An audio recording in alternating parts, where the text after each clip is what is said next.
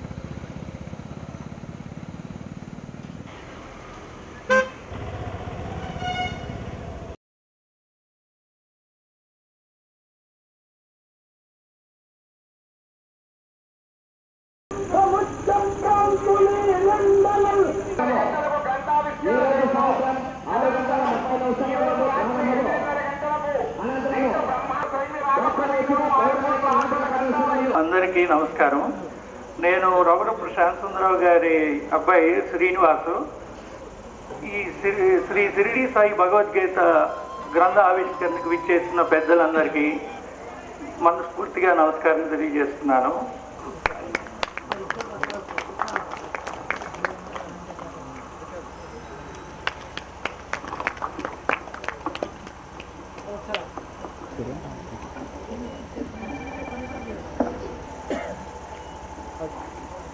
ఒకసారి చూడ అట్లా ఒకసారి సార్ ఒకసారి చూడు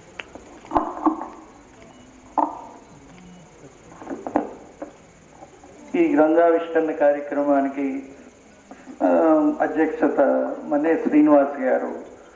ఇంకే ఆఫ్ చేస్తున్నాను. అందరికీ నమస్కారం. మనం ఈ సభా కార్యక్రమాన్ని జ్యోతి ప్రజ్వలంతో ప్రారంభించుకుందాం.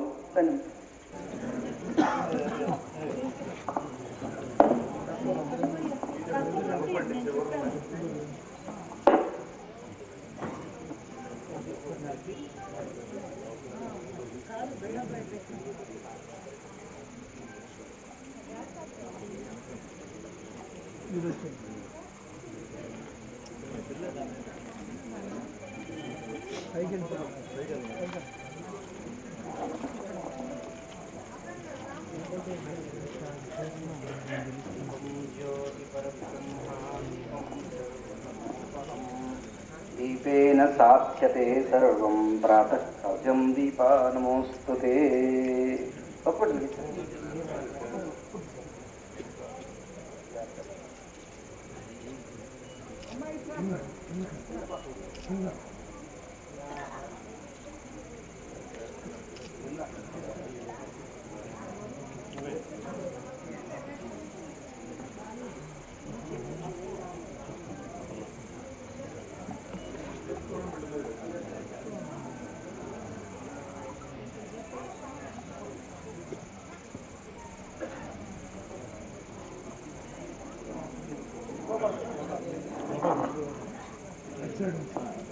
你们。班长。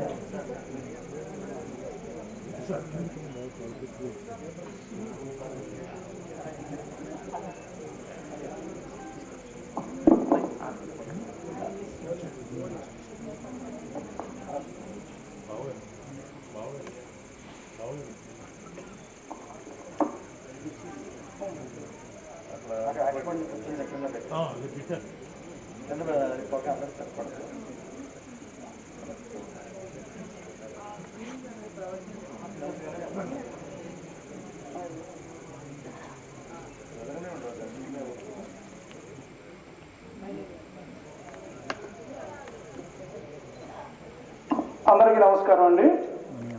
ఈరోజు మనం రవవరపు శ్యామసుందరరావు గారు రచించినటువంటి సాయి భగవద్గీత గ్రంథావిష్కరణ నిమిత్తమై ఇక్కడ సమావేశం.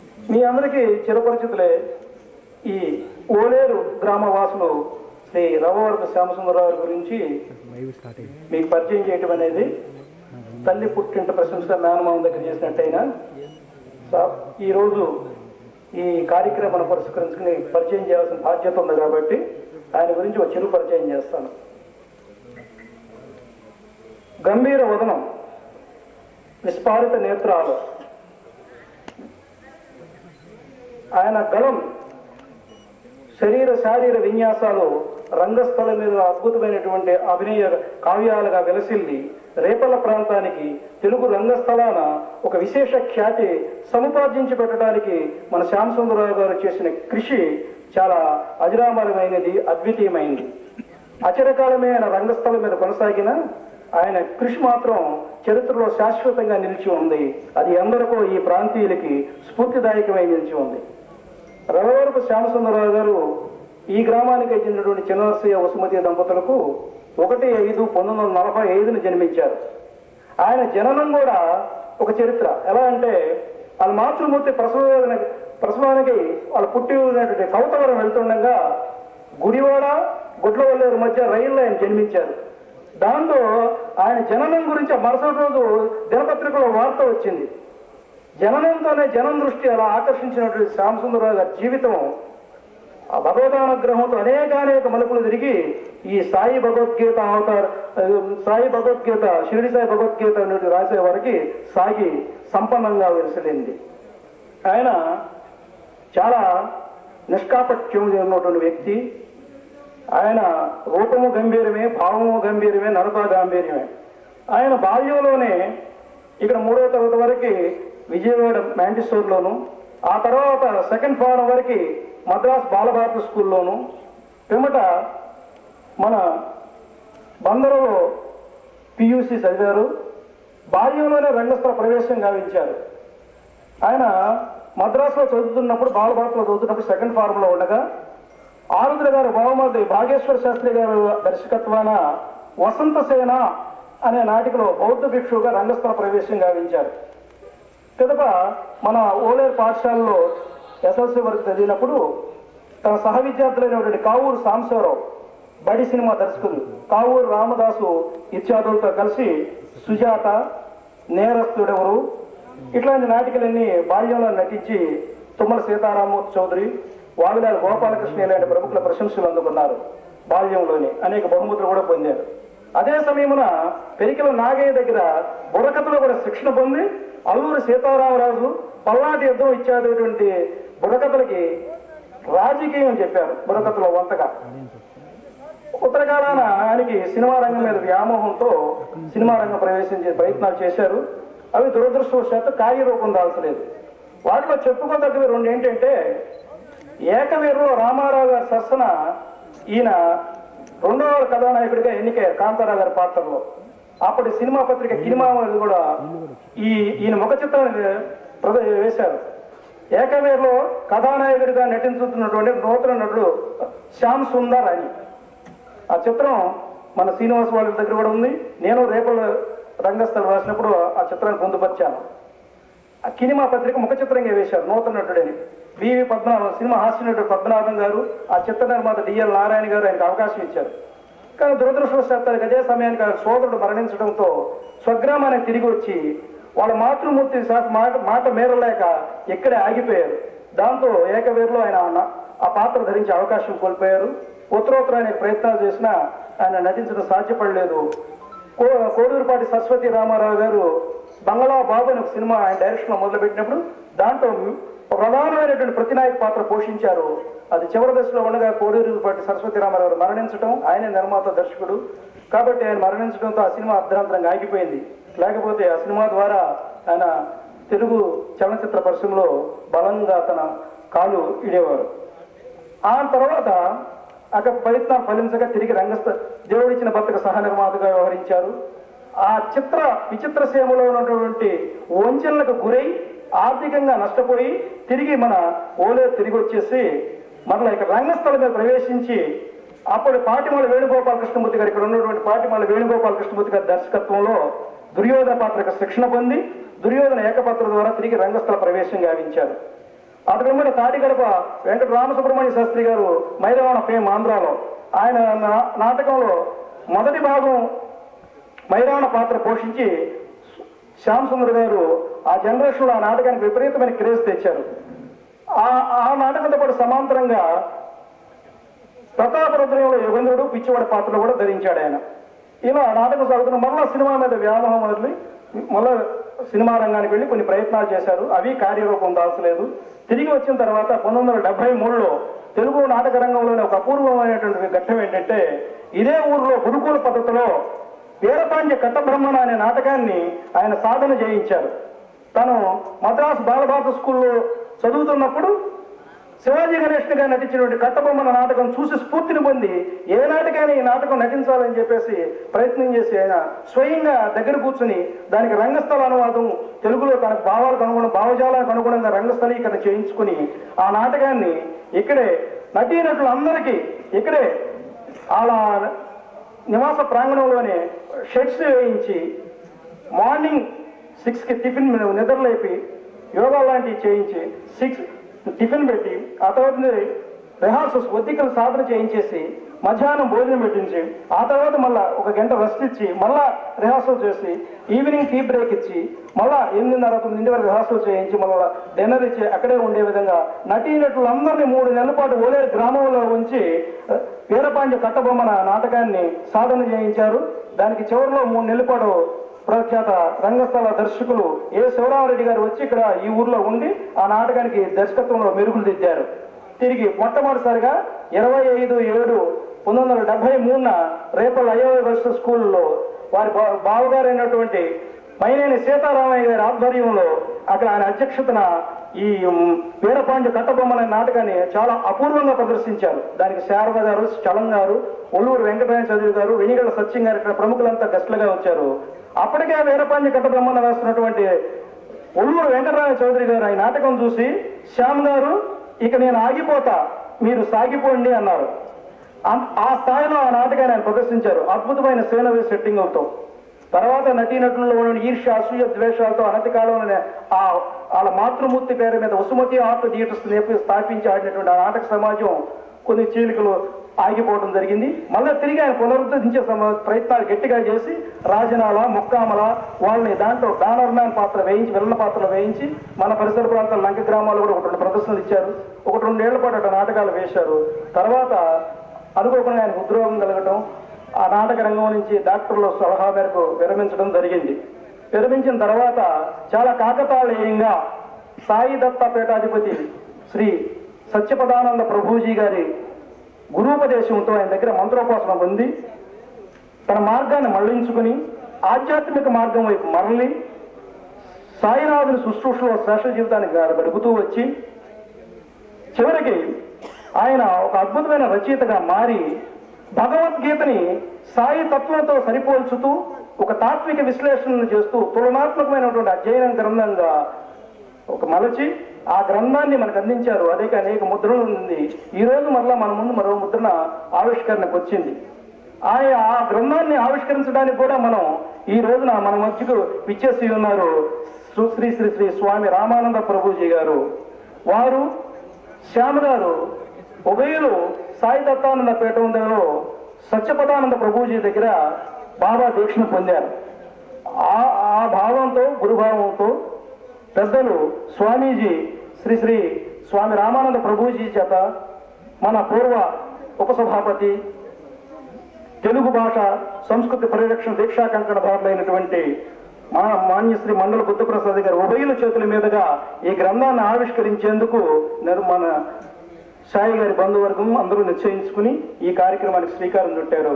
ఇప్పుడు ఆ గ్రంథాన్ని ఆవిష్కరించుకుందాం. తర్వాత వక్తలందరూ తమ తమ ఆత్మీయ సందేశం అందిస్తారు. మన ఆంధ్రదేశంలో త్రివేణి సంగమం లాగా మూడు రాష్ట్రాల నుంచి అత్యంత కీలకమైనటువంటి అతిథులు మనకి ఇక్కడ ఇచ్చేశారు. కర్ణాటక నుంచి నిర్మలా వెంకటేష్ గారు తెలంగాణ రాష్ట్రం నుంచి ప్రజాకవి గోరేటి వెంకన్న గారు మన ఉభయ రాష్ట్రాల్లో సంచారం చేసేటటువంటి గొప్ప గోపాలకృష్ణ గారు మేమందరూ ఇక్కడ మన వాళ్ళందరూ త్రివేణి సంగమం లాగా ఇక్కడ ఈ పవిత్ర స్థలానికి వచ్చేసి దీనికి పవిత్రతను చేకూర్చారు. మన ఆత్మీయ అతిథులందరూ తమ సందేశాలు అందిస్తారు అనంతరం. తొలుత మనం ఈ గ్రంథాన్ని ఆవిష్కరించుకున్నాం స్వామీజీ గారి చేతుల మీదుగాను. అనేక అనేక వేలాది గ్రంథాలను తమ అమృత హస్తాల మీద ఆవిష్కరించి వాటికి జీవం ప్రదానం చేసినటువంటి శ్రీ బుద్ధప్రసాద్ గారి ఉభయుల చేతుల మీదుగా ఈ గ్రంథాన్ని ఆవిష్కరించుకున్నాం. నాకు ఇంకా గట్టిగా వచ్చింది మళ్ళీ వాళ్ళు అనుకుంటా కానీ భయం అవుతుంది. రంకన్ గారు. అన్న మొత్తం నుంచున్నా నుంచోబెడదాం అన్న బుక్ పట్టుకుని నుంచోబెడదాం. అందరికి ఇది సరిపోద్ది గ్రూప్ ఆ, ఒకసారి చూడండి సార్ అట్లాగే. అది రన్నింగ్ కొడతాడు మనకి మన మనకి పేపర్కి వచ్చి పెడతాడు అన్న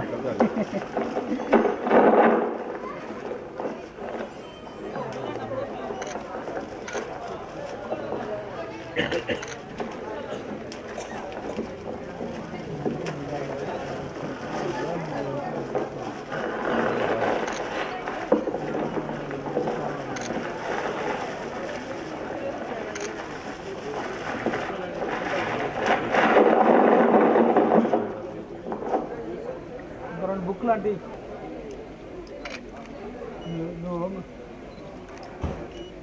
మనీ చూసుకో ఒకసారి కళ్ళ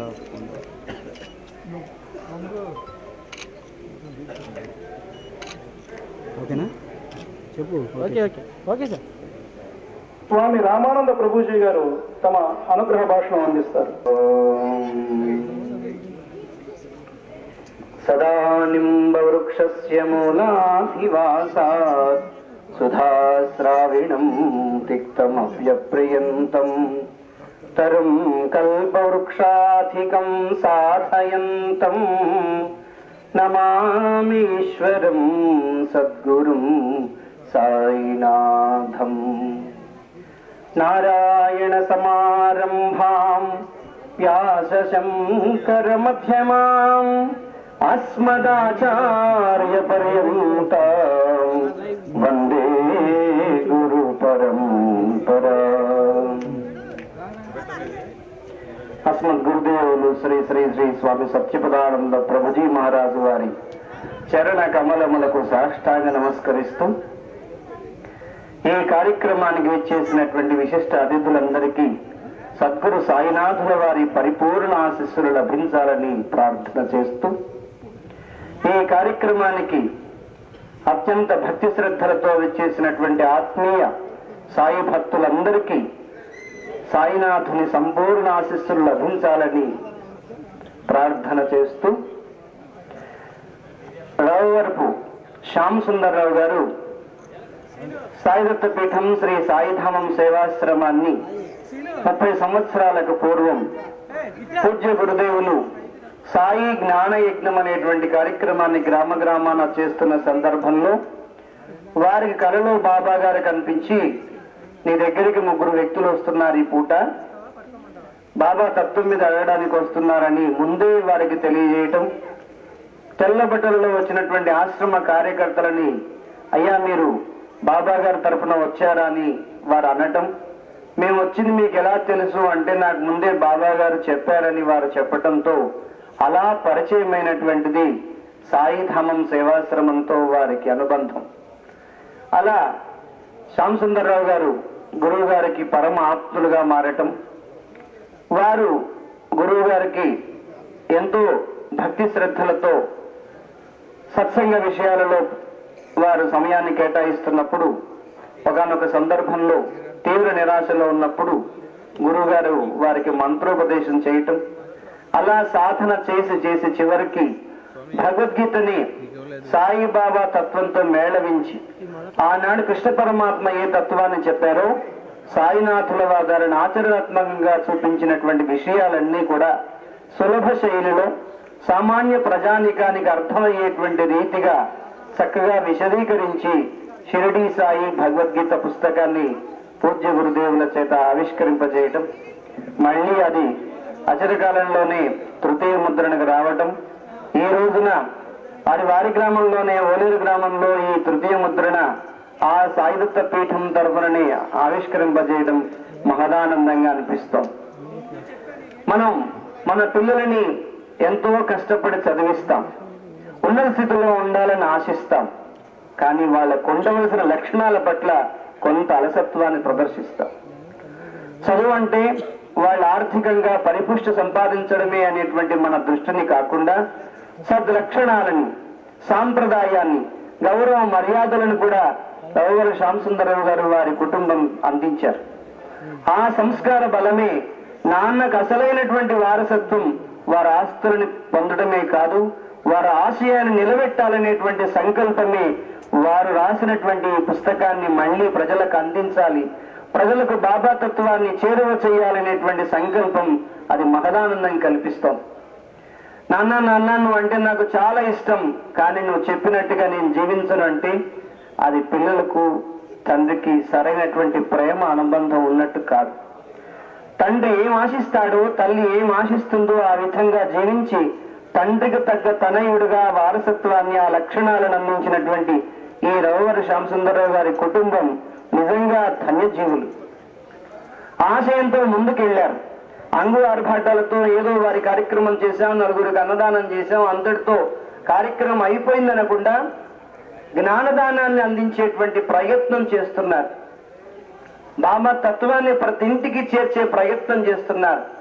నాన్న చేసినటువంటి సాధనని సమాజానికి అందిస్తూ నాన్నని చిరస్థాయిగా వారి పుస్తకం ద్వారా వారి గుండెల్లో వారిని చిరంజీవిగా ఉంచేటువంటి ప్రయత్నమే ఈ పుస్తక ఆవిష్కరణ మహోత్సవం జరుగుతుందని నేను భావిస్తున్నా.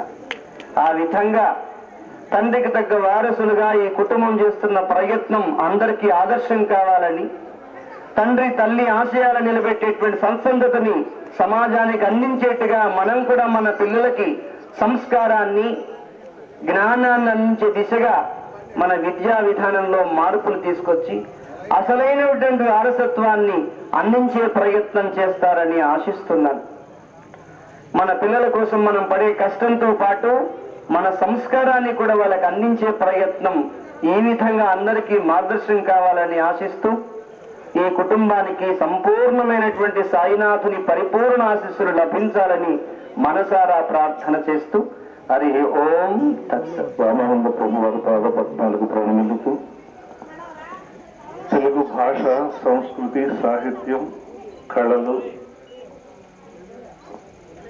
దేశ విదేశాలకి ఎవరు అంటే బుద్ధప్రసాద్ గారు అనేటువంటి ఒక తండ్రి నుంచి వారసత్వం అందిపుచ్చుకున్నటువంటి మాన్యుడు పూర్వ ఉపసభాపతి ఆంధ్రప్రదేశ్ గవర్నమెంట్ మాజీ మంత్రివర్యులు గౌరవనీయులు శ్రీ మండలి బుద్ధప్రసాద్ గారికి. ప్రజాకవి తన సాహిత్యంతో తన పాటతో తన ఆటతో ప్రజల్లో చైతన్యం రగిలించి ఈ రోజున తెలంగాణ ప్రభుత్వం గౌరవనీయులు కె. చంద్రశేఖరరావు గారి చేత గుర్తింపబడి ఒక ఎమ్మెల్సీగా ఉభయ రాష్ట్రాల యొక్క కళాకారుల పక్షపాతి కళాకారుల మనిషిగా ఉన్నటువంటి మా గోరెటి వెంకన్న గారికి పైగా ఆయన మంచి నటుడు కూడాను పద్య నాటకాలు కూడా చేస్తున్నారు ఈ మధ్య.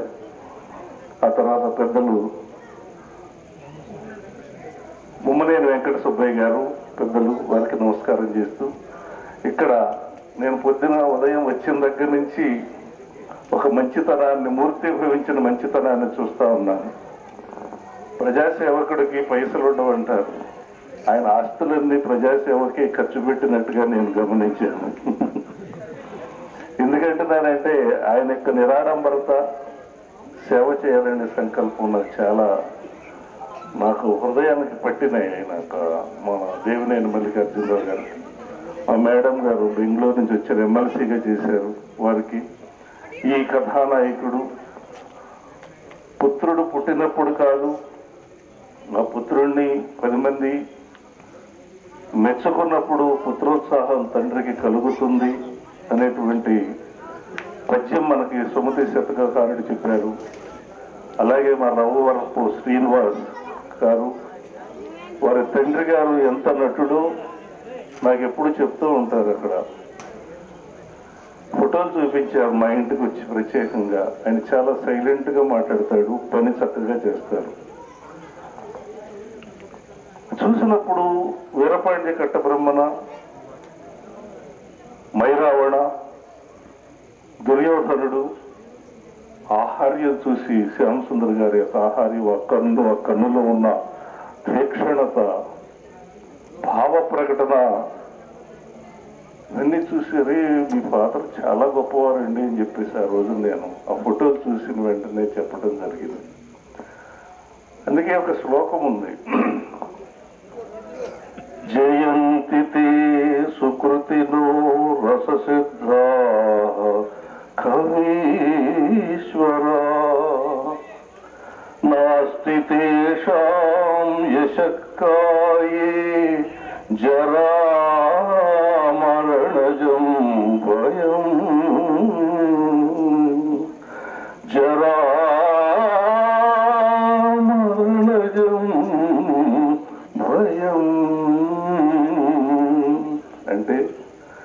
కవికి కళాకారుడికి వార్ధక్యం ఉండదు చావు ఉండదు. ఎందుకంటే వాళ్ళు కీర్తికాయంతో బ్రతికే ఉంటారు అని ఈ శ్లోకానికి అర్థం. ఆ పుస్తకం రచయించి ఆయన నటుడుగా ఎంత మంచి పేరు తెచ్చుకున్నా ఆ పుస్తకం బాబా గారి యొక్క సేవలో ఉపదేశం పొంది ఒక భగవద్గీత అని అనుసంధానం చేస్తూ సాయి సచ్చరిత్రానికి రాయటం అనేది ఆ పరిణతి చెందినటువంటి ఆధ్యాత్మిక జ్ఞానానికి పరాకాష్ఠగా ఆయన ఒక యోగిలాగా వర్క్ అంత పుస్తక గ్రంథం బయటకు రాదు. ఆయన జన్మ తరించింది. ఇది మూడవ ముద్రణ. మూడవ ముద్రను బయటికి తేవాలి అని ఆయన సంకల్పం. వంద ఎకరాల రైతు నూట ముప్పై ఎకరాలు నేను చూశాను. ముప్పై ఎకరాలు మాగాడి వంద ఎకరాలు మెట్టని చదివాను ఆస్తి పోయినా పర్వాలేదు. నాన్నకి ఇంత పేరుంది.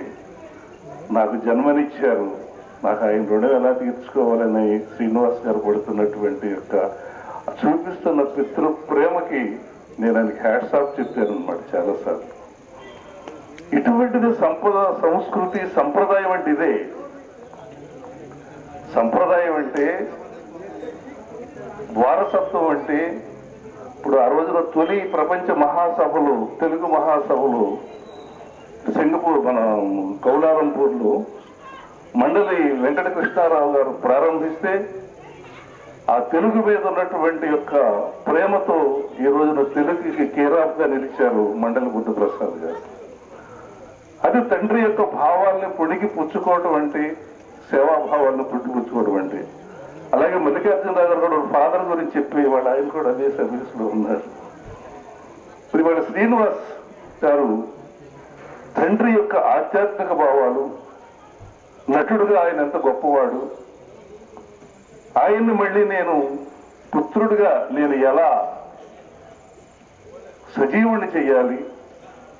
ఆయన చరిత్రను వచ్చే తరాలకి ఆయన రాసిన గ్రంథంలో ఉన్నటువంటి యొక్క విషయాన్ని వచ్చే తరానికి ఎలా తెలియచేయాలి? అనేటువంటి యొక్క సంకల్పంతో మరి ఈ పుస్తకం మామూలుగా లేదు. చాలా ఖర్చు అవుతుంది. మన మందే శ్రీనివాసరావు గారు తెలుసు. పుస్తకం ఒక ప్రింట్ చేయటం అంటే దాన్ని రాయటం అంటే ఆయన ఈ మధ్య ఎన్టీఆర్ చరిత్ర రాశారు. నేను కూడా నందమూరి రామాయణం అనేటువంటి ఆడియో ఆల్బమ్ చేశాను. బాలసుబ్రహ్మణ్యం గారితో పాడించాను. ఇవన్నీ కూడా అనుభవాలు. ఆ పుస్తకాన్ని వాళ్ళు తీసుకొచ్చి పూజ్య స్వామీజీ చేత సాహితీ పిపాసి మండల బుద్ధప్రసాద్ గారి చేత మన వెంకన్న గారి సమక్షంలో సుబ్బారావు గారి సమక్షంలో మా అందరం కలిసి ఆ భాగ్యం పంచుకోవటం అనేది నిజంగా నిజంగా ఈ ఓలేరు గ్రామం చూస్తుంటే వస్తున్న తర్వాత చూస్తుంటే ఇక్కడ ఇంత నాటక ప్రియులు చాలామంది నన్ను కలిశారు ఈ రోజున పెద్దలు. వాళ్ళు నాటకాల గురించి మాట్లాడితే వీళ్ళకి ఇంత నాటకం అవుతుంది మీద ఇంత ప్రేమ ఉందా అనేటువంటి ఆశ్చర్యానికి లోనయ్యాను. కళలు అంటే ఇంత గొప్ప ఆ, ఇది ఉందా కళాకారుడు ఇంత గౌరవిస్తారా? కళాకారుడి మీద ఇంత ప్రేమ చూపిస్తారా? అంటే కళ అనేది ఈ ఈ నేల మీద ఈ భూమి మీద ఈ ఊరి యొక్క నాడిలో ఉందనేటువంటి విషయాన్ని గమనించాను కాబట్టి ఇటువంటి కార్యక్రమాన్ని ఎంతో వ్యయ ప్రయాసాలు కూర్చి ఇంతమందిని పిలిపించి తర్వాత మళ్ళీ మన సుబ్బారావు డివి సుబ్బారావు గారు మనవడు మన జూనియర్ డివి సుబ్బారావు హరిశ్చంద్ర నాటకం పెట్టి ఆ తర్వాత చిరంజీవి తిరుమల తేజ ఒక మణిరత్నం లాంటి పాప. కమింగ్ జనరేషన్లో పద్యానికి ఒక అద్భుతమైనటువంటి మన ఆడపిల్ల మన తెలుగు పాప కృష్ణుడు కృష్ణుడిగా వేస్తున్నటువంటి పాపని తీసుకురావటం నాకు ఎంతో సంతోషంగా ఉంది. ఎందుకంటున్నానంటే కార్యక్రమం చేయటం వేరు. ఆ కార్యక్రమంతో పాటు కళారూపాన్ని కూడా ప్రజెంట్ చేయటం వేరు. కళారూపానికి ప్రాధాన్యత ఇచ్చినప్పుడే ఇటువంటి కార్యక్రమాలకు వెలుగు వస్తుంది. వాళ్ళ ఫాదర్ కూడా నటుడు కాబట్టి ఆయన నటనలో ఇప్పుడు ఇందాక చెప్పారు ఏకవీరలో రెండవ హీరోగా సెలెక్ట్ అయ్యారు అలాగే ఇది చెప్పుకోకూడదు నేను కూడా అన్నమయ్యలో వెంకటేశ్వర స్వామికి సెలెక్ట్ అయ్యాను. కానీ కాస్ట్ ఆఫ్ ప్రొడక్షన్కి నాగార్జున గారితోనే రిస్క్ చేస్తున్నాము. మళ్ళీ రంగస్థల నటుడిని పెడితే ఈ పిక్చర్ వాల్యూ తగ్గిపోతుంది అన్నప్పుడు సొమ్మన్న తీసుకెళ్ళారు. ఇది నాకు జరిగినటువంటి ఎక్స్పీరియన్స్ కొన్ని కొన్ని సందర్భాలు అనిపిస్తుంది. రంగస్థలానికి అంకితం కావలసిన వ్యక్తి సినిమా రంగానికి ఎదగలేడు. దాసనారాయణరావు గారు అద్భుతమైనటువంటి సినిమాలో బాలయ్య బాబుతో నన్ను కాంబినేషన్ క్యారెక్టర్ అద్భుతమైన క్యారెక్టర్ వేపిస్తే ఆ సినిమా పోయింది. పరమవీర చక్ర. మరి అలాగే ఎన్నో సినిమాల్లో చేశారు. చిన్న చిన్న వేషం. మా పరుచూరు గోపాలకృష్ణ గారు సింగన్ అనే సినిమాలో నారాయణమూర్తి గారు నేను ఆయన లారీ డ్రైవరు నేను క్లీనరు ఒక అద్భుతమైన క్యారెక్టర్. కానీ ఎందుకో ఇక్కడే ఇక్కడ చేసినవన్నీ నేను సక్సెస్ అవుతున్నాను. అక్కడ మళ్ళీ నేను ఎందుకు క్యారెక్టర్ చేసినా మళ్ళీ అడుక్కోవాల్సిందే. ఎందుకని నచ్చలా. అది అయి ఉంటుంది ఆయనకి కూడా. అదృష్టం అయోగం ఆయన ఇటువంటి మహా గ్రంథాన్ని రచించవలసినటువంటి బాధ్యత బాబా గారు పెట్టారు కాబట్టి ఆయన ఆ సినిమా రంగానికి వెళ్ళలేక వెళ్ళటానికి ఆయన ఇష్టపడలేదేమోనని నేను భావిస్తూ ఉన్నాను.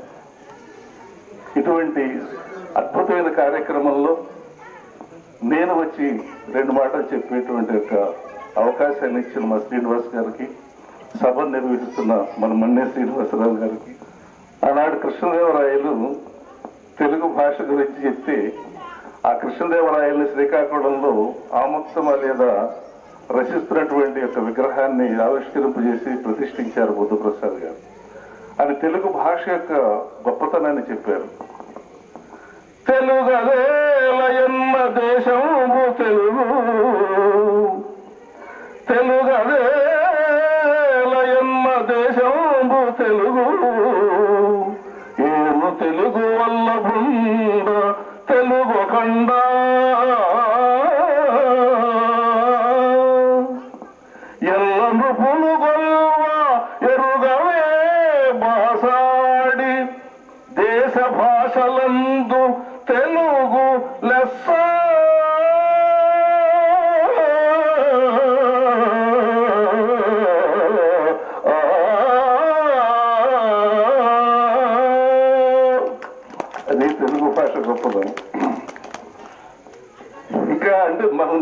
నెక్స్ట్ పద్యాలు విందు మా సుబ్బారావుడు వచ్చి ఉన్నాడు.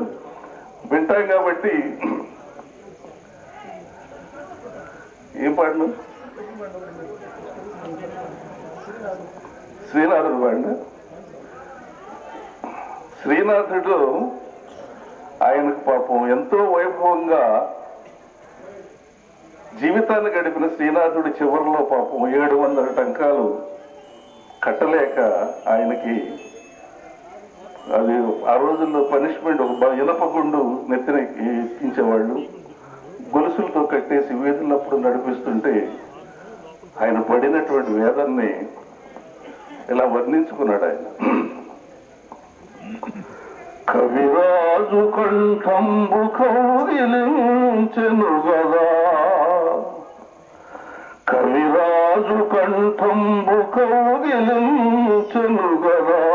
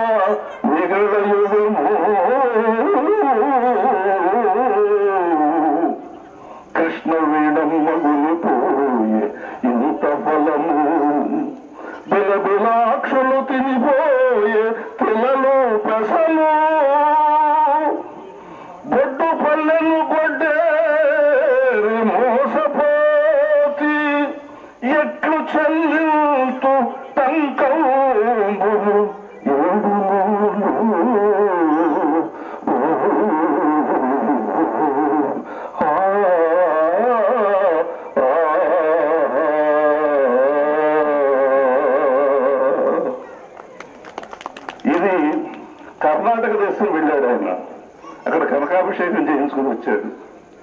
నేను మేడం ఉన్నారు కాబట్టి ఒక కర్ణాటకలో నాకు జరిగినటువంటి ఒక చిన్న గౌరవాన్ని చెప్పాల్సి ఈ స్టేజ్ మీద. రాధాకృష్ణరాజు గారు తెలుగు కళా సమితి అయితే ప్రధానమంత్రి పివి నరసింహారావు గారు ప్రపంచ తెలుగు మహాసభలకి గెస్ట్గా వచ్చారు ఆవిడ మూడు గంటలకి నా కృష్ణరాయవారం నాటకం ఒక సీన్ జరుగుతోంది ఆయన గెస్ట్ హౌస్లో ఉండి ఏం జరుగుతుంది అన్నారు. గుమ్మడి గోపాలకృష్ణ కృష్ణ పాత్ర అంటే నేను వస్తున్నాను అన్నారు. అక్కడి నుంచి వచ్చేసరికి నా క్యారెక్టర్ అయిపోయింది. వాళ్ళు వచ్చి లేదు పెద్ద ఆయన చూస్తారంటున్నారు నువ్వు వేషం తీయొద్దు అన్నారు. పెద్ద అయినంటే అంటే ఎవరో అనుకున్నా ప్రధానమంత్రి గారు నేను అనుకున్నా. తర్వాత చూస్తే ఐదు నిమిషాలు వస్తూనే ఉన్నారు ఆయన. వచ్చినాక ఆయన అక్కడ చూడటం మళ్ళీ నేను ప్రదర్శన చేయటం. ఎందుకంటే మా శ్రీనాథుడు నాటకాన్ని ఆయన కూడా చూసి నన్ను ఆశీర్వదించారు. మా గురుదేవులు ఏఆర్ కృష్ణ గారికి పద్మభూషణ్ అవార్డు వచ్చినప్పుడు నన్ను ఆయన తీసుకెళ్ళారు ఢిల్లీకి. నేను ప్రధానమంత్రి గారి ఇంట్లో భోజనం చేశాను ఆ రోజు మా గురువు గారితో పాటు. ఆ ఇదితో నా నన్ను చూడాలని వచ్చారు ఆయన. అలాగే యడ్యూరప్ప గారు కూడా గంటన్నర సేపు విన్నారు. అదే కృష్ణదేవరాయల విగ్రహావిష్కరణ ఆడిటోరియం కడితే నేను కృష్ణదేవరాయల క్యారెక్టర్ చేశాను కర్ణాటకలో. ఇటువంటి నేను తెలుసుకుంటుంటే సినిమా మాకు లేదే అనేటువంటి బాధ కలగదు. మాకు నాటకం ఇంత గౌరవం ఇచ్చింది ఇంత ఖ్యాతినిచ్చింది అలాగే మరి శ్యామసుందర్ గారికి క్యా- క్యారెక్టర్స్ అన్ని ఇవాళ మనం తలుచుకుంటున్నాం. నాటకం ఆయనకి ఇవాళ ఆ పాత్రలన్నీ తలుచుకుంటున్నాం. భగవద్గీత లాంటి సాయి సత్యసానంద భగవద్గీత పుస్తకం చిరంజీవిని చేసింది యశస్సుని చేసింది. కాబట్టి రంగస్థల నటుడే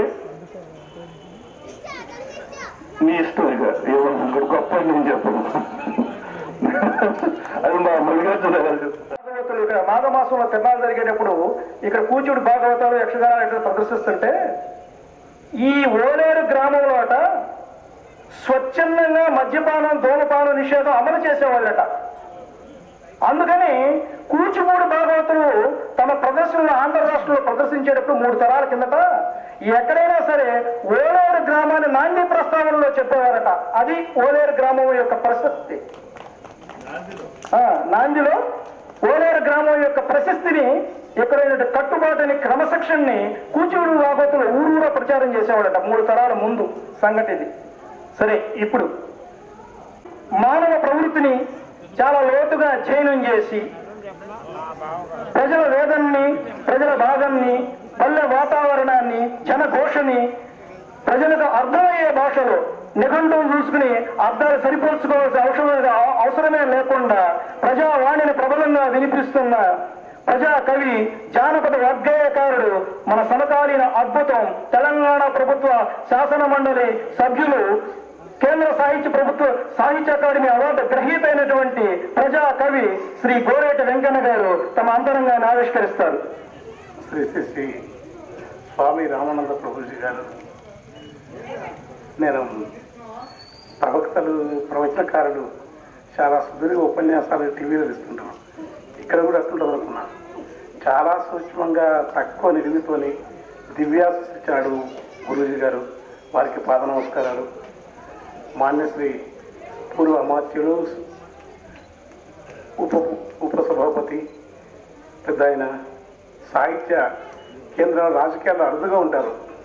తక్కువ మంది రాజకీయాల్లో సాహిత్యం సంస్కృతి కాశీపతి యాదాది కాశీపతిని సాహిత్యంలో సీనియర్ జర్నలిస్ట్ ఒక మాట రాసినాడు చాలా మంది కూడా కవిత్వం సాహిత్యం రాజకీయం ఒక వరలో ఇవ్వడవని కానీ వాగడాడ గోపాలకృష్ణ ఇలాంటి వాళ్ళు తర్వాత బెజవాడ గోపాలకృష్ణ తర్వాత మన మండలి బుద్ధప్రసాద్ గారు తెలుగు నేల అన్ని ప్రాంతాలకు మూడు ప్రాంతాలకు కూడా వారి పట్ల అపారమైన గౌరవాలతో ఉన్న వారందరూ సాహిత్యకారులు వారి వాత్సల్యం కోసం నేను ప్రధానంగా శ్రీనివాస్ గారిని అడిగింది ఈ సభకి ఎవరు వస్తున్నానమ్మా నేను కొంచెం వినడుతుంటాడు అంటే స్వామీజీ పేరు చెప్పినాడు తర్వాత బుద్ధ ప్రొఫెసర్ గారు బుద్ధ ప్రొఫెసర్ గారు అంటే అయితే నేను తప్పకుండా వస్తా.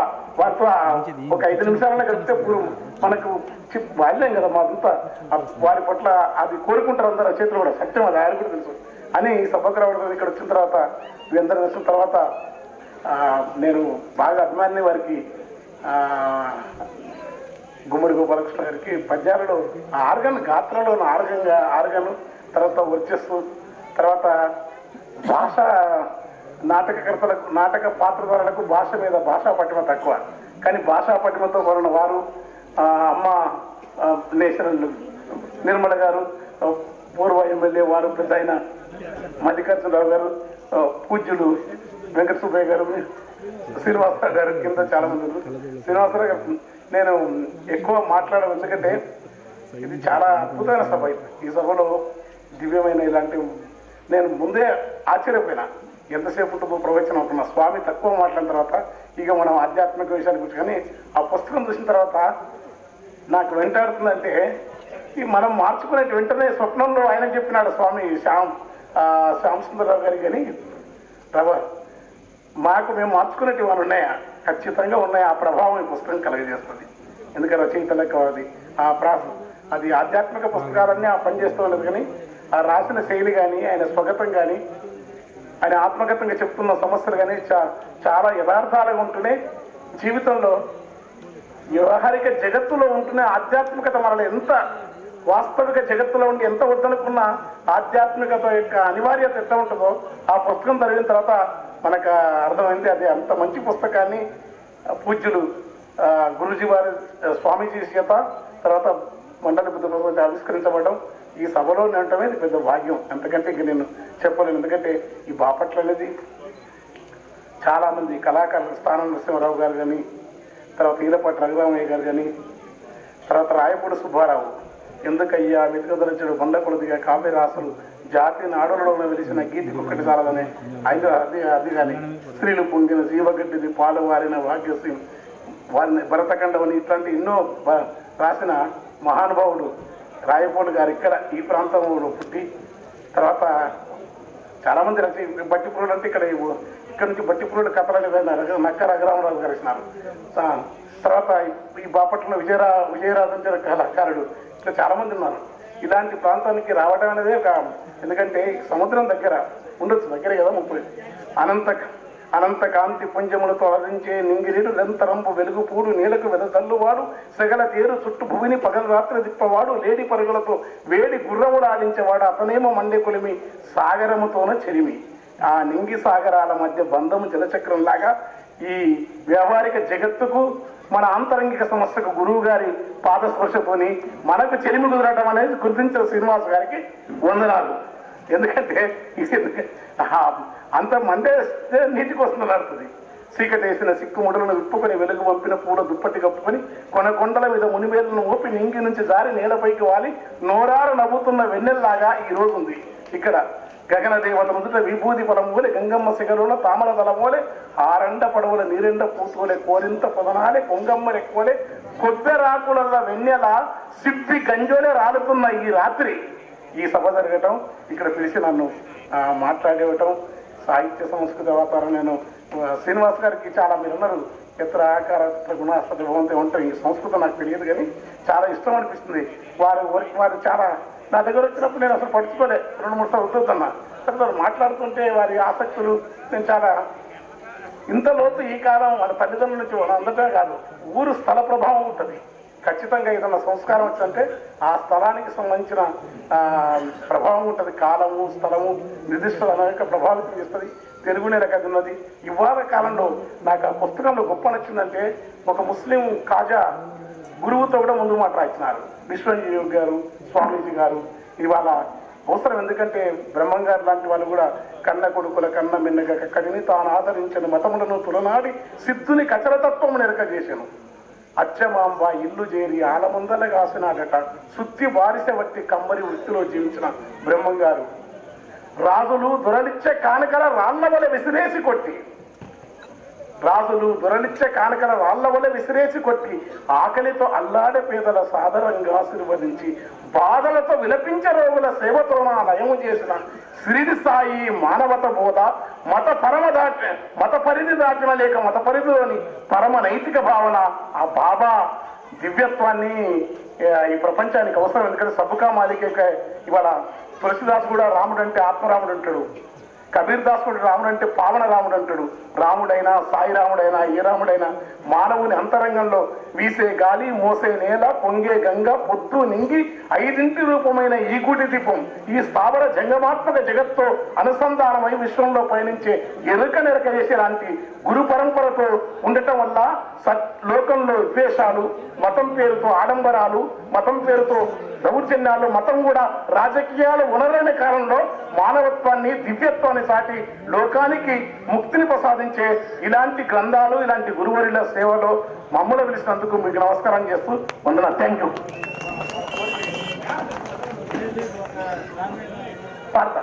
ఒకటొకటి ఒక చిన్న చిన్న అంటే ఎందుకంటే ఎక్కువ టైము సమయం పెద్ద పెద్దవారు ఇంకా పల్లె కన్నీరు అంటే దానికి. ఓకే అంటూ. అందరు ఓకే సార్. సారు పెద్దని చెప్పినందుకు ఆ పాటకు పల్లె పల్లె కన్నీరు పెడుతుందో ఎట్లా ఉండేది పల్లె? ఇట్లా చూస్తే చిరునవ్వు సాంద్రత గంధములు పుల్నాగ దిరిసిన గన్నేరు పులిజరుడు ఆకుపచ్చని లేత ఉగరు వాసన పూత గుబురు గుబురుల కాతల గురువింద నునిపోతల పరిమళపు పూమొక్కలు పల్లె బుక్కల సొక్కలు మూసి పూసిన మొగలి పాదులోని రెక్కలు. ఎంత అందంగాను. మామిళ్ళు చిగురేసి మారాకు ఆ పాటకు వస్తున్నా. మామిళ్ళు చిగురేసి మారాకు దొరికితే మంచు తెమ్మెరగరి శిశ్ర వెనుకకు దొరికితే ఒక్కొక్క కాడకు మూడేసి కాయ పింజల చూసి తను ఉంచే పాలిచ్చే తల్లుల చందము బొమ్మలన్నీ వంగి అమ్మ ప్రేమను చాపినప్పుడు చెట్టులోనే ప్రేమను తల్లిని దర్శించే దివ్యత్వం ఉన్న లోకంలో ఆ పల్లె అట్ట లేదు. పల్లె కన్నీరు పెడుతుందో కనిపించని కుట్రలా. బాబు గారు పెద్ద ఆయన చంద్రబాబు గారేమో ఆయనకు తెలియదు ఆయన కోసం రాయలే నేను ఏదో మా ఊరి కోసం రాసినది. వారు ఒకసారి పిలిచి అన్నాడు మా ప్రభుత్వాన్ని అని మీరు నాయకులు ఇచ్చినారు నాకు తెలియదు అదంతా చాలా గౌరవం నాకు కూడా. సార్ నాకు తెలియదు సార్. ఎమోషన్ పాడతాం అంటే మొన్న టీవీలో కూడా ఏదాడితే పెట్టారు.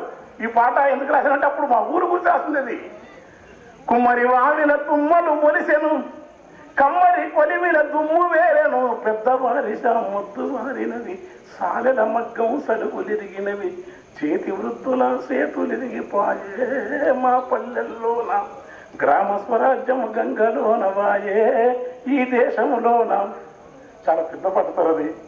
అందుకని మీరు వినండి. Thank you sir.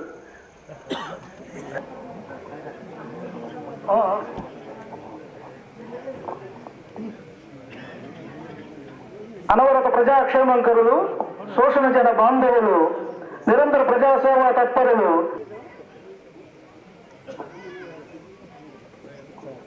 ఈ రోజున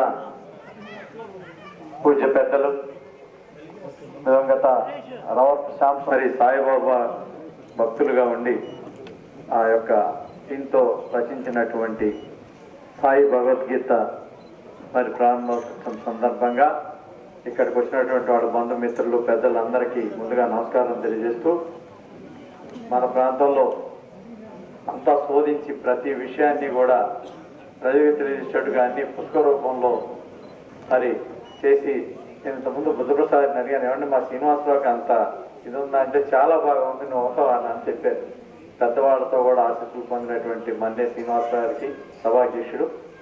మరి ఈ రోజున ఈ గ్రంథ ఆవిష్కరణకు వచ్చినటువంటి మరి పూజ పెద్దలు మరి స్వామీజీ గారు రామానంద ప్రభుజీ గారికి పాదపద్మాలకి నమస్కారం తెలియజేస్తూ అలాగే ఇంకొక పెద్దలు నాకు తండ్రి సమానులు నేనంటే ప్రేమాభిమానులు కురిపించేటటువంటి తెలుగు సాహిత్య రంగాల్లోనే ఆయన ఎంత మక్కువ ఎక్కడ ఏ చేసినా కూడా బుద్ధప్రసాద్ గారు లేకుండా ఈ కళలు కళాకారులకి అందరికీ కూడా ఆయన అంటే ఎంత ఇష్టం ఇందాక కోటి వెంకయ్యనాయుడు మీరు నా ఎంట రావాలి మా ఇంటికాడ ఉండాలి మా ఇంట్లో టిఫిన్ చేసి కానీ మీరు వెళ్ళటానికి ఇల్లేదు అని చెప్పి ఆయనకి ఎంత ప్రేమో ఆ కళాకారులు అంటే మరి తెలిసినటువంటి మంచి మానవతామూర్తి మరి పెద్దలు కొత్త మాజీ మంత్రి వర్యులు మాజీ స్పీకర్ గారు అన్నటువంటి పెద్దలకి వాళ్ళకు నమస్కారం చేస్తూ బుద్ధప్రసాద్ గారికి.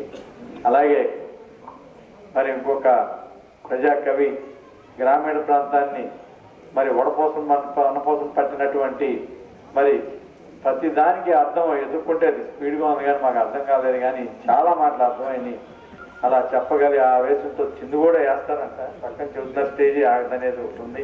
ఆ వయసులో కూడా మనిషికి ఎదురు మనుషులు కూడా రంజింపజేసేటటువంటి మహా కోరట వెంకన్న గారికి వెంకన్న గారికి పాదాలు నమస్కరిస్తూ అలాంటి కళాకారులు ఉన్నందుకు మనకు తెలియదు పిల్లలకి ఇప్పుడు ఆవుకి గేదెకి తేడా తెలియదు గేదెకి దున్నపోతుకే తేడా తెలియని రోజుల్లో మరి ఆ రోజుల్లో అలాంటి తెల్లవారులు కూర్చునేవాళ్ళు ఇప్పుడు ఒక గంట కూర్చున్నానికి మళ్ళీ వద్దాం ఇప్పుడు ఎంతసేపు పడుతుంది అనేటటువంటి కానీ ఆ ఇంటే కదలకుండా చెప్పేటటువంటి చేసేటటువంటి మహానుభావులు వాళ్ళకి నమస్కారం తెలియజేస్తూ ఇంకొక మరి కళాకారులు ఎన్నో కృష్ణుడు వేషం మరి ఎన్నో రకాలైనటువంటి చేసినటువంటి గుమ్మడి గోపాలకృష్ణ గారికి మరి అలా నమస్కారం చేస్తూ ఆయన మాట్లాడుతుంటే పొద్దు నుంచి మాట బాగా అనిపిస్తలే. కంఠం తెరిస్తే అదొక అమోహమైంది ఇందాక మనకి మరి అందరూ పబ్లిక్ మళ్ళీ వన్స్ మోర్ అంటారని వినేవాళ్ళం కానీ నేను అంత బాగా దానికి నాటకాలకు వెళ్ళేవాడిని కాదు.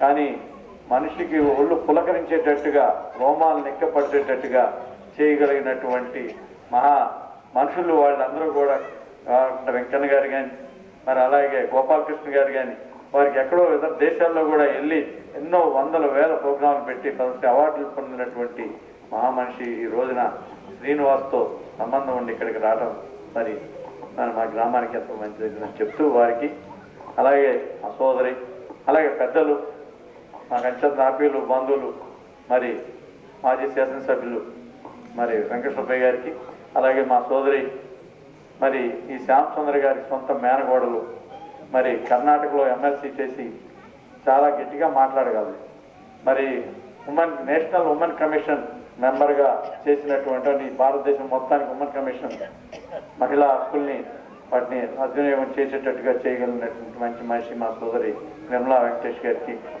ఇక్కడికి వచ్చినటువంటి ప్రతి వారికి నమస్కారం తెలియజేస్తూ ఎవరైనా పిల్లలు గొప్పవాళ్ళు అయితే మన పేర్లు ప్రతిష్టలు నిలుస్తాయి ఖచ్చితంగా. కానీ మనకన్నా పనికిమాలితే తండ్రి పేరు తాత పేరు అన్ని పేర్లు పోతాయి. కానీ శ్రీనివాస్ గారి గురించి ఇందాక చెప్పారు. చాలా నిదానస్తుడు ఎంత మంచి మనిషో. ఫైనాన్షియల్ అంటే మాటతో మంచి మనిషి అలాంటని గోపాలకృష్ణ గారు కూడా చెప్పారు. మరి ఎంత ఆత్మ ఉన్నా కూడా చేయలేదు. అది చేయడం జరగదు. కానీ శ్రీనివాస్ వాళ్ళ తల్లిదండ్రుల మీద వాళ్ళ నాన్నగారి మీద ఉన్నటువంటి ప్రేమాభిమానంతో మరి ఒకప్పుడు వందలాది ఎకరాల పొలాలుండి మరి ఆ నాన్నగారికి చేయటం సినిమా నిర్మాత చేయటం వీలైంది. నాటకాలు ఇంట్లోనే పెట్టి నెల నెలలు పోషిస్తూ మరి అందరికీ వసతి మరి భోజనాలు అన్నీ కూడా చెప్పి నెల నెలలు చేయటం కూడా ఆ రోజుల్లో ఆయనకు ఉన్న ఆసుపత్రులను బట్టి చేయటం కదా శ్రీనివాస్కి వాళ్ళ అతను ఒక సొంత కాళ్ళ మీద నిలబడి వాళ్ళ తాతండ్రుల పేర్లు నిలబడేటట్టుగా చేసేటటువంటి ఈ గ్రంథాన్ని మరి అచ్చువేసి కొన్ని లక్షల రూపాయల ఖర్చుతో మరి చేసి ఆ నాన్నగారికి ఇష్టమైన బాబు ఎవరు చూస్తారని నాటకం అని అంటే చాలా మంది ఉన్నారు మూడు మంది ఉన్నారు వందల మంది ఉన్నారు. కానీ పబ్లిసిటీ ఉంటే కానీ అది బాగా రాదు. అంటే నిన్న వాళ్ళ ఇంటికాడ ఒక మనిషి ఆ అబ్బాయి ఉంటే మన కదిలిస్తే హార్ట్ ఆపరేషన్ చేస్తున్నాడు కానీ కంఠోపాఠంగా ఆ దశాచంలో అన్నీ కూడా పాఠం జరిగింది. అతను మామూలుగా వ్యవసాయం చేసుకునేటట్టు ఒక ఎస్సీ అబ్బాయి అలాంటి పాఠం చాలా సంతోషపడ్డాం. కళలకి కళాకారులకి మరి బుద్ధప్రసాద్ గారు ఏంటబ్బా పద్దాకి ఈ పుస్తకాలు ఇవన్నీ మనుషులు అనుకున్నాను కానీ వీళ్ళ కంఠం తెరిచి మాట్లాడితే మనకు కూడా ఒళ్ళు పులకించేటట్టుగా చెప్పగలిగినటువంటి మహానుభావులు అంతరించిపోతున్నారు. ఈ కళ నాటక రంగం పోయి అనేక పిచ్చి రంగాలు చాలా వచ్చేసినాయి. ఆఖరికి ఎలా ఉందంటే పిల్లలు పాడైపోయే ఆఖరికి ఇది వచ్చింది. అలాంటి ఇది వచ్చినా కూడా ఇలాంటి మహానుభావులను మనం ఒకసారి మాట్లాడి తలుసుకోవాలి మరి అలాంటి చేసిన ఇవన్నీ ఏర్పాటు చేసిన తర్వాత నాటకం ఉందంట. మరి ఆ చివరి వరకు చూడగలమో లేదా అంత ఓర్తుందో లేదో కానీ మరి ఎప్పుడో చాలా ఏళ్ళ క్రితం ఎప్పుడో ఓలేరులోనే ఎప్పుడో తారా శశాంక్ ఒక అరగంటలో పావు గంట చూశాను నేను చదువుకునేటప్పుడు ఈ స్కూల్లోనే. అలాంటి ఈ తర్వాత రంగంలో నాకు అసలు సరిపడదు. ఒకసారి బుద్ధప్రసాద్ గారితో మన్నే శ్రీనివాసరావు అది బుద్ధం శరణం గచ్చామి అది అందరూ చూస్తే ఆయన అమ్మటే ఏదో పావు గంటలో వదిలేస్తాను అంతకు నుంచి వచ్చారు బుద్ధప్రసాద్ అంటే బుద్ధప్రసాద్ రెండు గంటలు కూర్చుంటే నేను కూడా కూర్చుని చూసి తర్వాత అంత బాగానే ఉందిలే అని అనుకుని ఆ రోజున ఎంత ఓర్పు ఓపిక ఆ ఆ భాష మీద ఉన్నటువంటి ప్రేమాభిమానాలు బుద్ధప్రసాద్ గారికి ఎంత దూరం రాత్రి వైజాగ్ వెళ్ళారంటే మొన్న గుంటూరు వచ్చారు రోజు ఏదో ఒక రకమైన కళల్లో కళాకారులకి ఆయన అత్యంత ఆప్తులు ప్రేమాభిమానులు కురిపించేటటువంటి మంచి మనిషి అన్నీ కూడా మరి ఎన్ని తలుచుకునే వాళ్ళం కాదు. తర్వాత శ్యామయ్య గారు అంటే ఊళ్ళో పెద్ద రైతు వారి కుటుంబం వాళ్ళు మరి నలుగురు అక్క చెల్లెళ్ళు తమ్ముళ్ళు వాళ్ళ బంధుమిత్రులు పెద్దలు సీతారామయ్య గారు డాక్టర్ వాళ్ళ బావగారు మరి అలాగే మనకి ఐజీ చేసే పున్నారావు గారు మన సుబ్బారావు గారు. అందరూ కూడా ఎంతో మంచి పనులు చేసే మంచి కుటుంబం వాళ్ళది. అది పోకుండా ఆ వారసత్వం పోకుండా గౌరవ శ్రీనివాస్ మా అందరికి కూడా ఎంతో ప్రేమ బంధువు ప్రేమ. అన్నిటిగా ఆయన గురించి నాకు నేను కూడా కొంచెం చెప్పాలి. నా ఎలక్షన్కి అప్పుడు అంత తిరగలేకపోయినా కూడా ఎక్కడెక్కడ వాళ్ళకి ఫోన్లు చేసి ఇలా అందరికీ చెప్పడం మా బంధువు ఇట్లా అని. తర్వాత ఇదే స్కూల్లో ఎప్పుడు చదువుతుంటే నేను ఊరి చూడటానికి వస్తే అక్కడే కుర్చీ వేసి కూర్చున్నాను. అలాంటి నాకెంతో ఆయనకి ఎంతో రుణపడి ఉన్నాం. మరి వ్యక్తిగతంగా కూడా బంధువులతో సమానమేంటి ఈ రకంగా ఈ సాయిబాబా ఆయన కొన్ని ఉన్నాయి కానీ చివరిలో వాళ్ళందరూ కూడా మరి వాళ్ళ భార్య గురించి కూడా మా అత్తగారి గురించి కూడా తెలుసుకోవాలి. ఎంతో ఆయన సేవ ఎంత చేసిందో చెప్పడానికి ఇల్లదే మామూలు వాళ్ళు ఇప్పుడు అయితే చేయరు వెళ్ళిపోతారు. అలాంటి కష్ట నష్టాలు పడిన ఆమె ఎంతో అంటే ఒకసారి ఎక్కడో బందర్లో సన్మానం జరిగింది. నేను ఉండబట్టే కదా మే సన్మానం జరిగిందని కూడా ఆ రోజు నవ్వుకుంటా చెప్పడం జరిగింది. వారి కుటుంబ ప్రేమలతో ఆయనకుండే నాటక రంగం సినిమాలు. మా బాబాయ్ అయినా చాలా మిత్రులు. వాళ్ళిద్దరు కలిసి మెడ్రాస్లో సినిమాలు తీయడానికి వెళ్తాం. ఇవన్నీ కూడా జరిగినాయి. మరి వాళ్ళతో ఉన్నటువంటి అనుబంధం నాకు చివరిలో చనిపోయేటప్పుడు కూడా ముందు రోజు కూడా నాకు అత్యంత సన్నిహిత సంబంధాలు. ఆయనతో ఉన్నట్టుగా ఆయన ప్రేమాభిమానాలు మర్చిపోలేం. వాళ్ళ అబ్బాయిది కనపడదు ఆయనేమో కనపడుతుంది వాళ్ళ అబ్బాయిదేమో అంత ప్రేమాభిమానాలు కనపడవు. కానీ ఆ కుటుంబానికి మరొకసారి ఇలాంటి మంచి కార్యక్రమం చేసినటువంటి శ్రీనివాస్కి వాళ్ళ కుటుంబ సభ్యులకి వారి బంధువులకి అందరికి కూడా పేరు పేరున నమస్కారం తెలియజేస్తూ సభాధ్యక్షులు రేపల్లె ప్రాంతం గర్వించదగ్గ సాహితీవేత్త చరిత్ర పరిశోధకుడు. ఈ ప్రాంత చరిత్రని రంగస్థల చరిత్రని మొన్న నందమూరి తారక రామారావు గారి జీవిత చరిత్రని ఎంతో పరిశోధించి జాతికి అందించిన మిత్రుడు శ్రీ మన్నే శ్రీనివాసరావు గారికి శ్రీ శ్రీ శ్రీ స్వామి రామానంద ప్రభుజీ గారి పాదపద్మాలకు నమస్కరిస్తూ ఈరోజు ఈ కార్యక్రమం ఓని తెచ్చిన మహనీయుడు ప్రజా వాద్యాయకారుడు కేంద్ర సాహిత్య అకాడమీ అవార్డు గ్రహీత ప్రస్తుతం తెలంగాణ శాసన మండలి సభ్యుడు ఎందుకంటే గతంలో ప్రభుత్వాలు ఓ ప్రముఖ కవుల్ని శాసన మండలికి గవర్నర్ గారి ద్వారా నామినేట్ చేయడం జరుగుతూ ఉండేది. ఆ రకంగా ఆంధ్రప్రదేశ్ ఏర్పడినప్పుడు కవి సామ్రాట్ విశ్వనాథ్ సత్యాన గారిని జాషువా గారిని ఓయి భీమన్ గారిని ఇలాంటి వారందరినీ కూడా శాసనమండలి సభ్యులు చేశారు. కానీ ఇటీవల కాలంలో అది ఆ ఆనవాయితీని కొనసాగించిన పరిస్థితులు కూడా మనం చూసాం. అలాంటి పరిస్థితుల్లో తెలంగాణ శాసన మండలికి గోరాటి వెంకన్న గారిని శాసన మండలికి పంపించి కేసీఆర్ గారి కీర్తిని కట్టి కీర్తిని మూట కట్టుకున్నారని చెప్పి మాత్రం ఖచ్చితంగా చెప్పచ్చు. అలాగే వాళ్ళ తెలుగు నాటక రంగంలో అంతర్జాతీయ ఖ్యాతి గడించిన సమకాలీన మహానటుడు గుమ్మడి గోపాలకృష్ణ గారు. ఎందుకంటే గతంలో మనకు చాలామంది ఈ ప్రాంతం నుంచి కూడా రఘురామయ్య గారు స్థానం నరసింహరావు గారు ఇలాంటి వారందరూ కూడా తెలుగు నాటక రంగానికి ఒక గొప్పతనాన్ని సాధించి పెట్టారు. కానీ ఈ తరంలో మా మన తరంలో మన కళ్ళెదుట మళ్ళా ఆ స్థాయిలో చరిత్రని లిఖించుకున్న వ్యక్తి మాత్రం గుమ్మడి గోపాలకృష్ణ అని చెప్పి తప్ప నా ముందు మాట్లాడిన పెద్దలు బుద్ధప్రసాద్ ఎప్పుడు ఈ కవుల్ని కళాకారుల్ని వాళ్ళతో ఉంటారు వాళ్ళ గురించి మాట్లాడుతూ ఉంటారని చెప్తున్నారు. కానీ ఒకటి మాత్రం గుర్తుంచుకోవాలి. నేను మంత్రిని లేకపోతే శాసన ఉత్సాహపతం చేసిన ఆ పదవులు అంతవరకే మమ్మల్ని గుర్తుంచుకుంటాను ఆ పదవులు పోయిన తర్వాత ఏదైనా అవసరం అయితే మాజీ అని చెప్పి చేర్చి ఇచ్చేస్తారు అంతవరకు. అలాగే మా వెంకట సుబ్బయ్య గారిని కానివ్వండి లేకపోతే మల్లికార్జున గారిని మాజీ శాసనసభ్యులకు గుర్తిస్తారు. అంతవరకే మా పరిమితి. కానీ తెలుగు జాతి చరిత్రలో గుర్తించబడే వాళ్ళు వీళ్ళిద్దరూ. ఎందుకంటే తెలుగు సాహిత్యం అంటే ఆ తెలుగు సాహిత్యంలో ఒక ప్రజా కవిత్వానికి సాహిత్య అకాడమీ అవార్డు సాధించడం కానివ్వండి ఒక ప్రజా వాగ్గేయకారుడిగా ప్రజల్ని చైతన్యం చేయటం కానివ్వండి ఆ రకంగా చరిత్రకి ఎక్కే వ్యక్తి ఎవరంటే గోరాటి వెంకన్న గారు. ఇప్పుడు పల్లె కన్నీళ్ళు పడుతున్న పాట చాలా ప్రసిద్ధమైన పాట. చాలా మంది విని ఉంటారు. సినిమాలో కూడా వచ్చినట్టు ఉంది అది. అంటే ప్రజా సమస్యల మీద గలమెత్తే వాగ్గేయకారుడు ఆయన. ఇప్పుడు మనకు అన్నమయ్య కీర్తనలు అన్నమయ్యని కూడా మనం వాగ్గేయకారుడు అంటాం. ఆయన అంటే భక్తి కవిత్వం ఆయన. కానీ వీళ్ళు ప్రజాకవి. ఎక్కడ ఏ సమస్య ఉన్నా కూడా ఆ సమస్య మీద స్పందించే గుణం ప్రజా కవులకు మాత్రం ఉంటుంది. ఇప్పుడు మనకి ఉన్న సమస్య విశాఖ ఉక్కు సమస్య. విశాఖ ఉక్కు ఆంధ్రుల హక్కు అని చెప్పి పోరాడి ఎంతోమంది ప్రాణాలు అర్పిస్తే విశాఖ ఉక్కు ఫ్యాక్టరీ వచ్చింది.